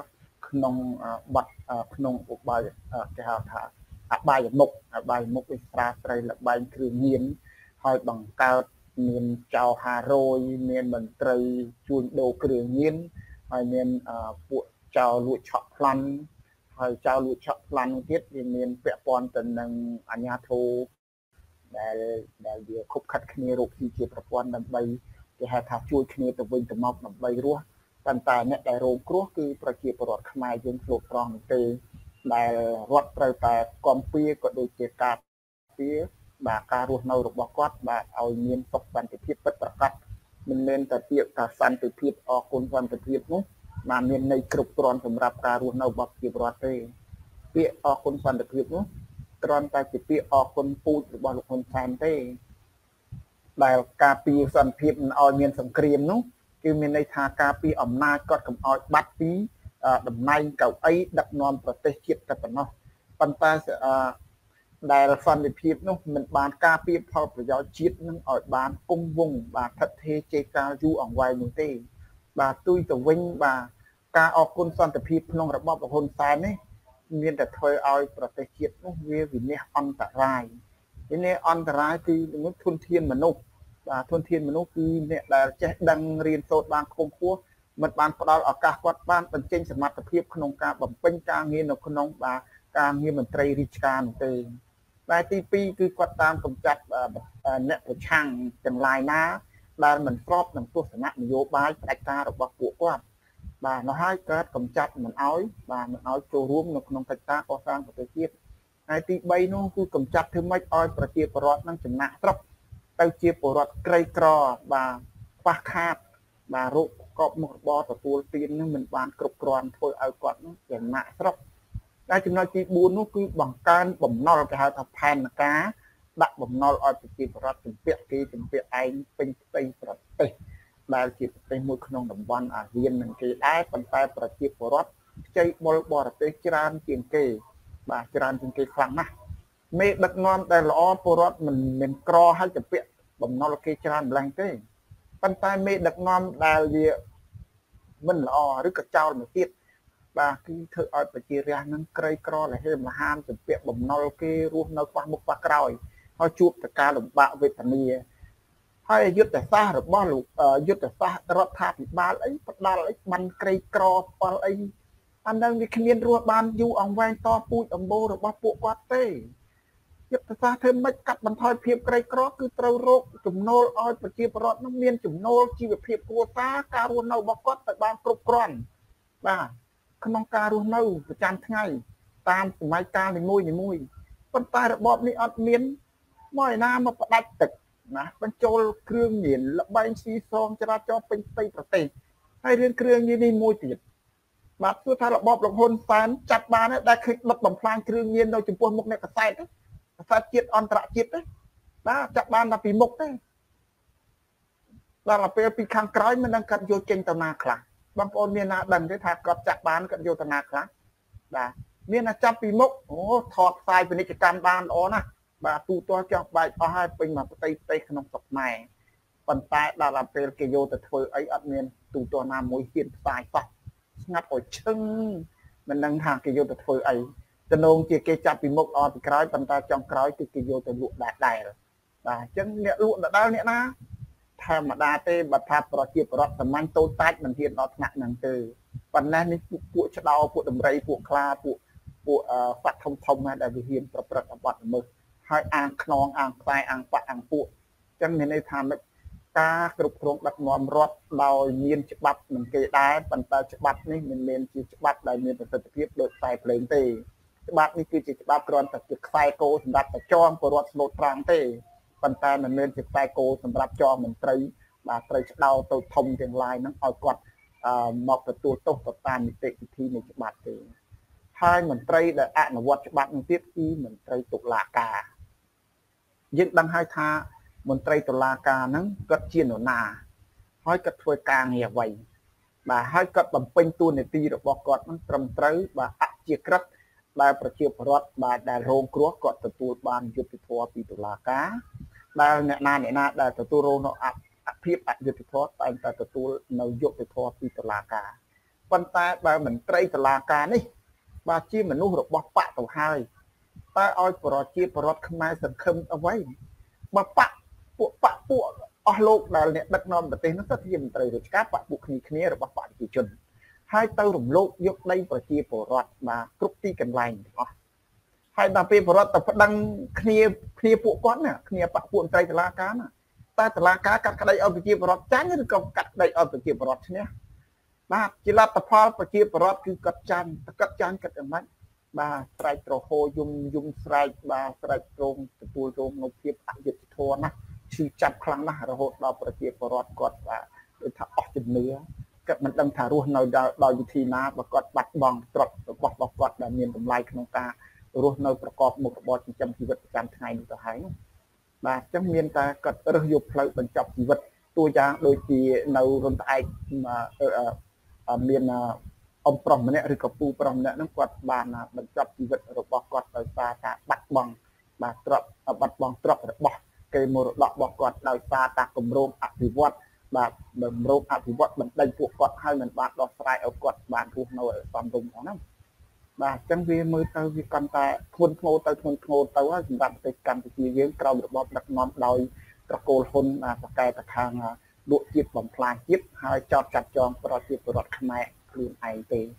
បាទអញ្ចឹងអ៊ំមានអ្វីចង់បន្ថែមទៀតទេអ៊ំជួយយើងចង់ជិតដល់នាទីបញ្ចប់ហើយបាទសម្លេងហោះអ៊ំ បាទអរគុណច្រើនមួយខ្ញុំបាទសូមឆ្លើយនឹងសំណួរមួយថាបញ្ហាសង្គមរបស់យើងនេះ ដូចជាយកកឹមសុខាមកធ្វើកូនអុកថ្មីថ្មីនេះអានេះខ្ញុំធ្លាប់រស់នៅជាមួយបកប្រជាជនបកប្រជាជននេះយកកឹមសុខាមកធ្វើកូនអុកទេគាត់ចង់ឲ្យកម្មសខានេះឆ្លើយទទួលទោសដោយខ្លួនឯងហើយទម្លាក់កំហុសទៅលើបរទេសណាម្នាក់ទៅដើម្បីលុបលាង កំហុសរបស់បកប្រជាជន ដែលមានហ៊ុនសែនក្បត់ជាតិនេះអញ្ចឹងគាត់ឲ្យកម្មសខាទទួលទោសដោយដោយខ្លួនឯងហើយឲ្យកម្មសខានេះទម្លាក់ទោសទៅលើបរទេសណាមួយនេះខ្ញុំសង្ស័យណាបើកម្មសខាទទួលរបៀបនេះមែនអានឹងកម្មសខាគាត់ក៏ជាអ្នករួមគំនិតក្បត់នឹងប្រទេសជាតិហើយ អញ្ចឹងទុកឲ្យគណៈបព្វជិជនគេរោទៅថាសន្តិជាមួយបរទេសនោះវាទៅសន្តិតនាអ្នកណាឲ្យវាឆ្លើយវិញតែខ្ញុំបារម្ភខ្លាចកម្មសខាគាត់ចង់រស់ស្រួលទៅប្តីប្រពន្ធកូនគាត់គាត់ទៅឆ្លើយថាអាមេរិកអ្នកបង្កើបអីអានឹងសូនហើយខ្មែរនិងអាមេរិកនេះคล้ายទៅជាសត្រូវប្រចាំប្រវត្តិសាស្ត្រហើយនេះបញ្ហានេះ ដែលហ៊ុនសែនទាញកម្មសខាមកធ្វើកូនអុកដើម្បីលុបលាងនៅអំពើក្បត់ជាតិរបស់បកប្រជាជននោះហើយចោតសង្គ្រោះជាតិថាទៅសន្តិជាមួយបរទេសមិនទាន់បានរកឃើញផងរំលាយបាក់ធ្វើឲ្យប្រទេសជាតិច្បោកច្បល់គ្មានភាពយុត្តិធម៌ចោតគ្មានផោះតាង ធ្វើអ្វីទៅតាមអំពើចិត្តអាក្រក់ជួជាតិរបស់បកប្រជាជនដែលគ្មានគូប្រៀបពីលើអំពើអាក្រក់ចឹងបរទេសគេឃើញហើយចឹងបានជាមកវិញនេះមកមកធ្វើឯណាកាត់ទោសដើម្បីពង្រៀងដានទម្លាក់កំហុសទៅលើអ្នកណាម្នាក់តែបែបកម្មសខាគាត់ចិត្តល្អនឹងប្រទេសជាតិហើយគាត់អត់ឆ្លើយទៅលើ ប្រទេសណាទេអញ្ចឹងគាត់មិនទទួលទោសហើយគាត់នៅតែមិនក៏ຕົកចិត្តធ្វើទៅតាមគំនិតរបស់បកប្រជាជនបានជា ការអូសបន្លាយនេះវាចេះតែវែងទៅរហូតដល់កន្លះខែកាត់ទោសម្ដងកន្លះខែក្រោយទៅកាត់ទោសម្ដងទៀតដើម្បីធ្វើម៉េចឲ្យកែមសខានេះទទួលទោសទទួលកំហុសទម្លាក់ទៅលើជនបរទេសណាម្នាក់ឬក៏ប្រទេសណាមួយនោះ អានឹងយើងធ្លាប់មានរួចហើយហើយគណៈបព្វជិជននេះធ្លាប់បានបរាជ័យច្រើនណាស់នៅក្នុងប្រវត្តិសាស្ត្រអញ្ចឹងគាត់ប្រវត្តិនៅក្នុងឆ្នាំ1753គណៈបព្វជិជនបានបរាជ័យដោយសារចរណាដាប់ឈួននឹងព្រះអង្គចាស់ចន្ទរាំងសីមិនឲ្យក្រុមនេះមកលូកលាន់លើកិច្ចការទៀមទីឯករាជ្យបរាជ័យលើកទី2បកប្រជាជននេះរួមគំនិតជាមួយ យួនខាងវាំងដងទៅសំបំបែកប្រទេសជា2អានឹងគឺសិតតែជាការប៉ុនប៉ងឆ្លៀនពៀនរបស់គំនិតយួនរួមនឹងខ្មែរក្បត់ជាតិមួយក្តាប់តូចដែលតែងធ្វើសកម្មភាពបំរើយួនរហូតមកដល់សម័យរដ្ឋកម្ពុជារបបហ៊ុនសែនអាក្បត់ជាតិនេះខ្មែរយើងបានទប់ស្កាត់បានវិញគឺសម័យអ៊ុនតាក់ចូលមកបោះឆ្នោតនេះអញ្ចឹងយួនក៏តូចចិត្តវាណា អញ្ចឹងពេលនេះ ដែលខ្មែរយើងត្រូវតែមានសង្ឃឹមថាប្រទេសកម្ពុជានឹងរួចផុតពីកណ្ដាប់ដៃអាតកូលហ៊ុននឹងចៅ500អាយួនហាណូយនេះដាច់ខាតជំរឿខ្ញុំសង្ឃឹមថានឹងថ្ងៃនេះយើងនឹងមានឈ្នះអញ្ចឹងយើងឈ្នះ3ដងរួចហើយអញ្ចឹងសូមបងប្អូនរួមគ្នាតស៊ូទៀតដើម្បីយកជ័យជំនះពីលើពួកអាក្បត់ជាតិទាំងអស់នេះបាទខ្ញុំសូមចូលរួមប៉ុណ្ណឹងបាទ បាទអរគុណច្រើន បាទចំពោះមតិយោបល់បាទចុងក្រោយរបស់អមលិសបាទជាចុងក្រោយតើអមស៊ីចិត្តមានអ្វីដើម្បីបន្ថែមជានាទីចុងក្រោយរបស់កម្មវិធីយើងទេបាទបាទសំលេងបាទសូមអរគុណហើយជាលើកចុងក្រោយខ្ញុំក៏ពុំមានពាក្យអីវែងឆ្ងាយអីដែរគាត់តែនិយាយតែមួយម៉ាត់ពីរទេអឺសូមឲ្យបងប្អូនវិជាពលរដ្ឋទាំងអស់ យើងចូលរួមជាមួយនឹងគណៈបកនយោបាយជាពិសេសគណៈបកកម្លាំងជាតិគណៈបកឆន្ទៈខ្មែររួបរวมគ្នា ដើម្បីស្ដារប្រទេសជាតិយើងនៅឆ្នាំ2027និង2028ណាហើយនៅពេលខាងមុខដ៏ឆាប់នេះប្រទេសយើងនឹងអាចទទួលបាននៅ សិទ្ធិសេរីភាពពេញលេញដោយសាររបបដឹកនាំរបស់ម៉ាណែតនេះมันអាចឈរបានយូរអង្វែងទៅទៀតទេដោយសារតែគំនាបអង្គការសហប្រជាជាតិយ៉ាក់យ៉ាងធ្ងន់ធ្ងរមកលើរបបរបស់លោកហ៊ុនម៉ាណែតសប្តាហ៍អញ្ចឹងសូមបងប្អូនចូលរួមទាំងអស់គ្នាចុះហើយបងប្អូនមេត្តាចូលរួមនឹងដល់ជាកម្លាំងចិត្តដល់គណៈបពប្រឆាំងជាពិសេសអង្គបោះឆ្នោតនៃគណៈបកភ្លើងទីន មេត្តាចូលរួមបោះឆ្នោតទៅតាមឆន្ទៈដែលអស់លោកអ្នកពេញចិត្តណាកុំទៅបោះឆ្នោតជួនអ្នកដតីដែលក្រៅពីគណៈបកដែលយើងរស់នៅសប្តាហ៍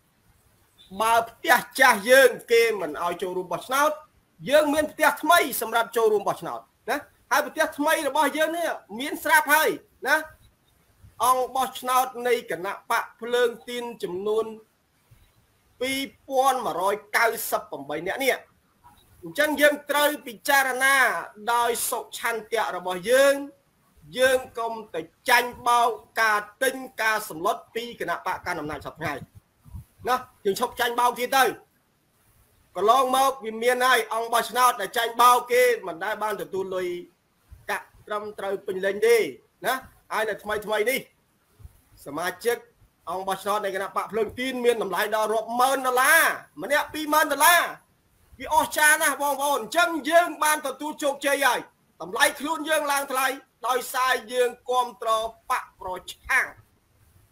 ដើម្បីផ្លាស់ប្ដូររបបផ្ដាច់ការគឺផ្លាស់ប្ដូរទៅតាមសំឡេងនៃសន្តិឆ្នោតរបស់យើងណា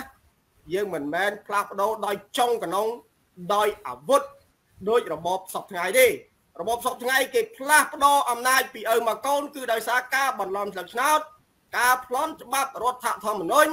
ណាប្លន់ឆន្ទៈប្រជាពលរដ្ឋប៉ុន្តែយើងអ្នកប្រជាធិបតេយ្យយើងមានកិច្ចសន្យា23ដុល្លារ1991យើងផ្លាស់ប្ដូររបបផ្ដាច់ការទៅបាន គឺតាមឆន្ទៈនៃប្រជាពលរដ្ឋតាមការបោះឆ្នោតដោយយុត្តិធម៌ណា សូមអង្គបោះឆ្នោតមេត្តាចូលរួមបោះឆ្នោតទាំងអស់គ្នាកុំលក់ឧត្តមគតិឲ្យគណៈបកប្រជាជនអីណាយើងឆ្លងកាត់ហើយយើងចាស់ចាស់អស់ហើយណាអ្នកនយោបាយទាំងអស់សុទ្ធតែចាស់ចាស់អស់ហើយមិនមែនជាក្មេងទៅតើនឹងប្រឡូកនយោបាយទេណាស្គាល់តែសូមជម្រាបដល់អង្គបោះឆ្នោតប៉ុណ្ណឹងបាទសូមចូលរួមប៉ុណ្ណឹងសូមអរគុណគួយឡៃហួរបាទអរគុណច្រើនចំពោះការផ្ដាំផ្ញើនៅមតិយោបល់ចុងក្រោយរបស់ពុចិត្ត ដែលផ្ដាល់ផ្ដាល់ដែលដាស់តឿនក្រមរំលឹកទៅដល់អង្គបោះឆ្នោតក្រមប្រឹក្សាបាទទាំងអស់ជាពិសេសក្រមប្រឹក្សាដែលបានជាប់ឆ្នោតពីគណៈបកភ្លេងទៀនទាំង1000ទាំង2198នាក់បាទអញ្ចឹងមេត្តាបាទបោះឆ្នោតដោយឈលលើបាទស្មារតីបាទឆន្ទៈឧត្តមគតិរបស់ខ្លួនក្នុងការគ្រប់គ្រងទៅលើបាទគ្រប់គ្រងទៅលើអតួបច្ចុប្បន្នជនដែលយើងត្រូវបោះជឿ បាទអញ្ចឹងជាចុងក្រោយតើបងបងជាវិសាតើមានមតិយោបល់អ្វីបាទដើម្បីយើងបិទបញ្ចប់កម្មវិធី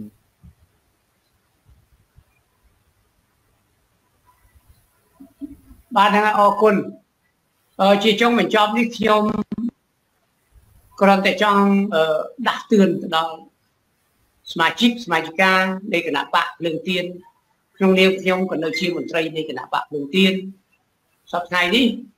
ក៏ខ្ញុំមិនបានងាករេចេញទៅខាងណាឬក៏ខាងណាទេប៉ុន្តែចំហរបស់ខ្ញុំខ្ញុំគ្រាន់តែបញ្ជាក់ថាចំហសំរងស៊ីនិយមដើម្បីប្រជាធិបតេយ្យពលនយោបាយមានតែពីរទេមួយពលហ៊ុនសែននិងមួយពលសំរងស៊ីតែប៉ុណ្្នឹងទេបើបងប្អូនណាមិនធ្វើតាមការទូន្មានការអប់រំការណែនាំរបស់លោកធានសំស៊ីខ្ញុំសន្មតថាអ្នកនោះកំពុងតែដើរតាមសេណារីយ៉ូរបស់ហ៊ុនសែន កុំថាអ្នកឯងចេញទៅប៉ានេះប៉ានោះឲ្យតែផ្ទុយអំពីឆន្ទៈនៃការដឹកនាំរបស់លោកប្រធានសំស៊ីដែលបានណែនាំឲ្យមិនស្ដាប់ប្រាប់មិនតាមអ្នកនោះវាជាតែមនុស្សរបស់ហ៊ុនសែនតែប៉ុណ្ណឹងណារហូតដល់អាចឈានទៅក្បត់នឹងអឺលោកប្រធានសំស៊ីហើយមួយមួយសិតតាំងខ្លួនឯងតំណាងរា5អំណាចខ្ញុំឲ្យ20អំណាចក៏ដោយ10អំណាចក៏ដោយបើចំហឯងចុងក្រោយមកប្រក្រិចប្រគ្រប់ ទៅបំរើឲ្យហ៊ុនសែនអានឹងវាមកអួតស្អីចាញ់គេទៅចូលផងខ្ញុំនិយាយចេះទៅឈប់អួតបើអ្នកឯងឈរចំហពីណាពីណីមកឲ្យនៅរក្សាដដែលដើរលើចំហជាមួយនឹងលោកធានដដែលដើម្បីនោះរំដោះជាតិយើងសង្គ្រោះប្រទេសជាតិយើងផ្លាស់ប្ដូររបបហ៊ុនសែនចេញលោកធានធម្មស៊ីគាត់លះបង់ខ្ពស់តាំងពីស្រុកទាំងតាំងពីគាត់នៅប្រទេសបារាំងតាំងពីចំនួនតស៊ូ រហូតដល់គាត់ធ្វើជាគេហៅថាមនុស្សរបស់សម្ដេចនរោត្តមសីហនុតាំងពីយើងរៀបចំមុនចិត្តព្រមទាំងទីក្រុងប៉ារីសទៀតខ្ញុំមើលប្រវត្តិគាត់មិនយើងមិននិយាយឪពុកគាត់ទេឬក៏ឪពុកក្មេកលោកអញ្ញាញឹកស្លុងក៏ដូចជាឯកឧត្តមសំរីណែលោកតាសំមានជាតាលោកប្រធាននេះសិតតែជាមន្ត្រីជាន់ខ្ពស់ស្រឡាញ់ជាតិស្រឡាញ់ជាតិតបតាអញ្ចឹងយើងនិយាយថាខ្ញុំសូមឲ្យបងប្អូនទាំងអស់នៅក្នុងសមាជិកសមាជិកាដែលមាននិន្នាការជាតិតបតា សូមស្ដាប់តាមការអប់រំនិងការអំពាវនាវរបស់លោកធានសំទីគឺចប់នោះខ្ញុំក៏នឹងមិនថាអស់លោកជាមនុស្សដែលគិតអត្តដែលអាត្មានិយមឬក៏គិតប្រយោជន៍ដល់ខ្លួនយើងទៅទាំងអស់គ្នាបប៉ុន្តែរបស់លោកចេះតែដើរផ្ទុយអំពីឆន្ទៈមនសិការនៅក្នុងកតិជាតិនិយមហើយមិនស្ដាប់ទៅតាមការណែនាំរបស់បីដាស្ថាបនិកហ្នឹងឯងឈ្មោះថាអស់លោកទៅតាមហ្នឹង ឥឡូវសួរអត់ចាំទៅខាងហ្នឹងឲ្យពិតប្រាកដមើលយើងដឹងថាពលយោបាយទៅខ្មែរវាមានតែពីរហ្នឹងឯងហ៊ុនសែនវាប្រកែកអារឿងបង្កប់អារឿងដាក់មនុស្សបកគេនឹងឲ្យចូលមកកកោវល់ដូចពុនបាច់ជាជំរាបជំរាបធ្វើយូរយូរអស់លីហើយតែមកអីគ្នានោះប៉ុន្តែខ្ញុំគ្រប់គ្រងនឹងបណ្ឌិតសេងសេរីដែលគាត់និយាយថាបើសិនជាហ៊ានក្បត់នឹងលោកប្រធានហើយប៉ះរលីបុគ្គលប៉ះរលីប៉ះរលីហ្នឹងអត់មានអនាគតទេជីវិតនយោបាយពុនអស់លោកនឹងនឹងត្រូវបញ្ចប់ មិនបាច់ទៅវាយបហាគាត់មិនបាច់អីទេកុំភ្លេចថាសំរាស៊ីមានតែម្នាក់ឯងជីវិតគាត់កើតមកប៉ុន្តែសំរាស៊ីតែលោកសំរាស៊ីនៅក្នុងប្រទេសកម្ពុជានៅក្រៅប្រទេសរាប់លានអ្នកខ្ញុំប្រាប់អត់មានសារប្រឡូកទេពួកខ្ញុំនៅតែតំណាក់តំណងធ្វើការនៅខាងក្នុងដដែលខ្ញុំនៅតែជាមន្ត្រីនៃគណៈបកភ្លើងទៀនដែរចឹងខ្ញុំដឹងទាំងអស់តែក្នុងយ៉ាងម៉េចខ្ញុំដឹងដែរគឺកិច្ចពីខ្ញុំអត់រួចទេហើយខ្ញុំមិនត្រឹមប៉ុណ្្នឹងខ្ញុំមានមន្ត្រីមូលដ្ឋានខ្ញុំទៀត កម្លាំងដែលខ្ញុំរៀបពេញនឹងដៃខ្ញុំនរណានេះនៅតំបន់របស់ខ្ញុំនៅកន្លែងរបស់ខ្ញុំខ្ញុំមិនបាច់បញ្ចេញទេខ្ញុំចេះបញ្ជាកូនចៅខ្ញុំហើយទោះបីមិនបាន100%ដោយក្នុងខែកំពង់ចាមខ្ញុំគាត់ប្រាប់តែប៉ុណ្្នឹងបានហើយចឹងខ្ញុំអត់ចង់ទេខ្ញុំអត់ចង់ទេចង់ឲ្យអ្នកឯងយល់ឲ្យត្រូវវិញស្ដាប់តែលោកធានមកការណែនាំរបស់គាត់មកដើរឲ្យត្រូវនឹងកលោកជាធម្មតាមកគឺខ្ញុំអរគុណហើយយើងនឹងចាត់ដៃគ្នាទៅឆ្ពោះដំណើរទៅកាន់2027 28 បន្តការងាររបស់យើងតទៅទោះបីយើងគ្នាយើងនៅក្នុងនេះកំពុងតែនិយាយវាគ្មិនទាំងអស់នេះមិនទាន់បានទៅកសាងគេហៅថាការងារថ្មីឡើងវិញទៅដល់តែយើងកំពុងតែធ្វើពីអឺសហការគ្នាធ្វើពីក្រៅទៅក្នុងពីក្នុងមកក្រៅគឺមិនឲ្យដែរអញ្ចឹងសម្ព័ន្ធគេហៅថាប្រព័ន្ធនៃអ្នកវិជាធិបតេយ្យគឺអត់មានសាបទៅអត់មានរលត់ទេហើយចង់បញ្ចប់នេះខ្ញុំសនំពរដល់ជាបរដ្ឋខ្មែរសូម ក្រោយឈរឡើងទាំងអស់គ្នាដើម្បីធ្វើការផ្លាស់ប្ដូរនៅក្នុងការកែប្រែសង្គមយើងនិងប្រទេសកម្ពុជាយើងឲ្យមានភាពរីកចម្រើនហើយឈប់គ្រប់គ្រងគណៈបកប្រជាជនឈប់គ្រប់គ្រងរបបចកលចៅរដ្ឋាភិបាលនៃតកូលហ៊ុនឯកកំពុងគៀបសកត់ជិះជាន់ទៅលើប្រជារដ្ឋខ្មែរណារហូតដល់ធ្វើឲ្យប្រជារដ្ឋខ្មែរយើងបាត់បង់នៅទីលំនៅឋានបាត់បង់នៅមុខរបរអាជីវកម្មណាបាត់បង់នៅអឺដីធ្លីកាសសម្បែង រហូតដល់គ្មានការងារធ្វើធ្វើឲ្យកូនចៅចំណាក់ស្រុកមកប្រទេសជិតខាងប្រទេសខាងក្រៅនេះគឺជារូបភាពមួយអាក្រក់ណាស់យើងបែកបាក់គ្រួសារបែកបាក់ឪពុកម្ដាយដោយសារតែគ្មានការងារធ្វើដោយសារតែយើងមកធ្វើការនៅប្រទេសគេខាងក្រៅជួនកាលទៅមានគ្រោះថ្នាក់ឧបសគ្គអ្វីមួយធ្វើឲ្យឪពុកម្ដាយយើងនៅឯផ្ទះសំបីនៅស្រុកខ្មែរក៏ធ្វើឲ្យគាត់នឹងបារម្ភព្រួយបារម្ភទៀតអានេះចាក់ស្ដែងយើងឃើញមានហើយអញ្ចឹងយើងចង់ទៅធ្វើការនៅក្នុងប្រទេសយើង នៅក្នុងផ្ទះយើងនៅចិត្តឪពុកម្ដាយយើងជុំបងប្អូនយើងដូចប្រទេសប្រជាធិបតេយ្យប្រទេសគេមានប្រាក់ខែគ្រប់គ្រាន់សមរម្យចិញ្ចឹមជីវិតណែសូម្បីតែ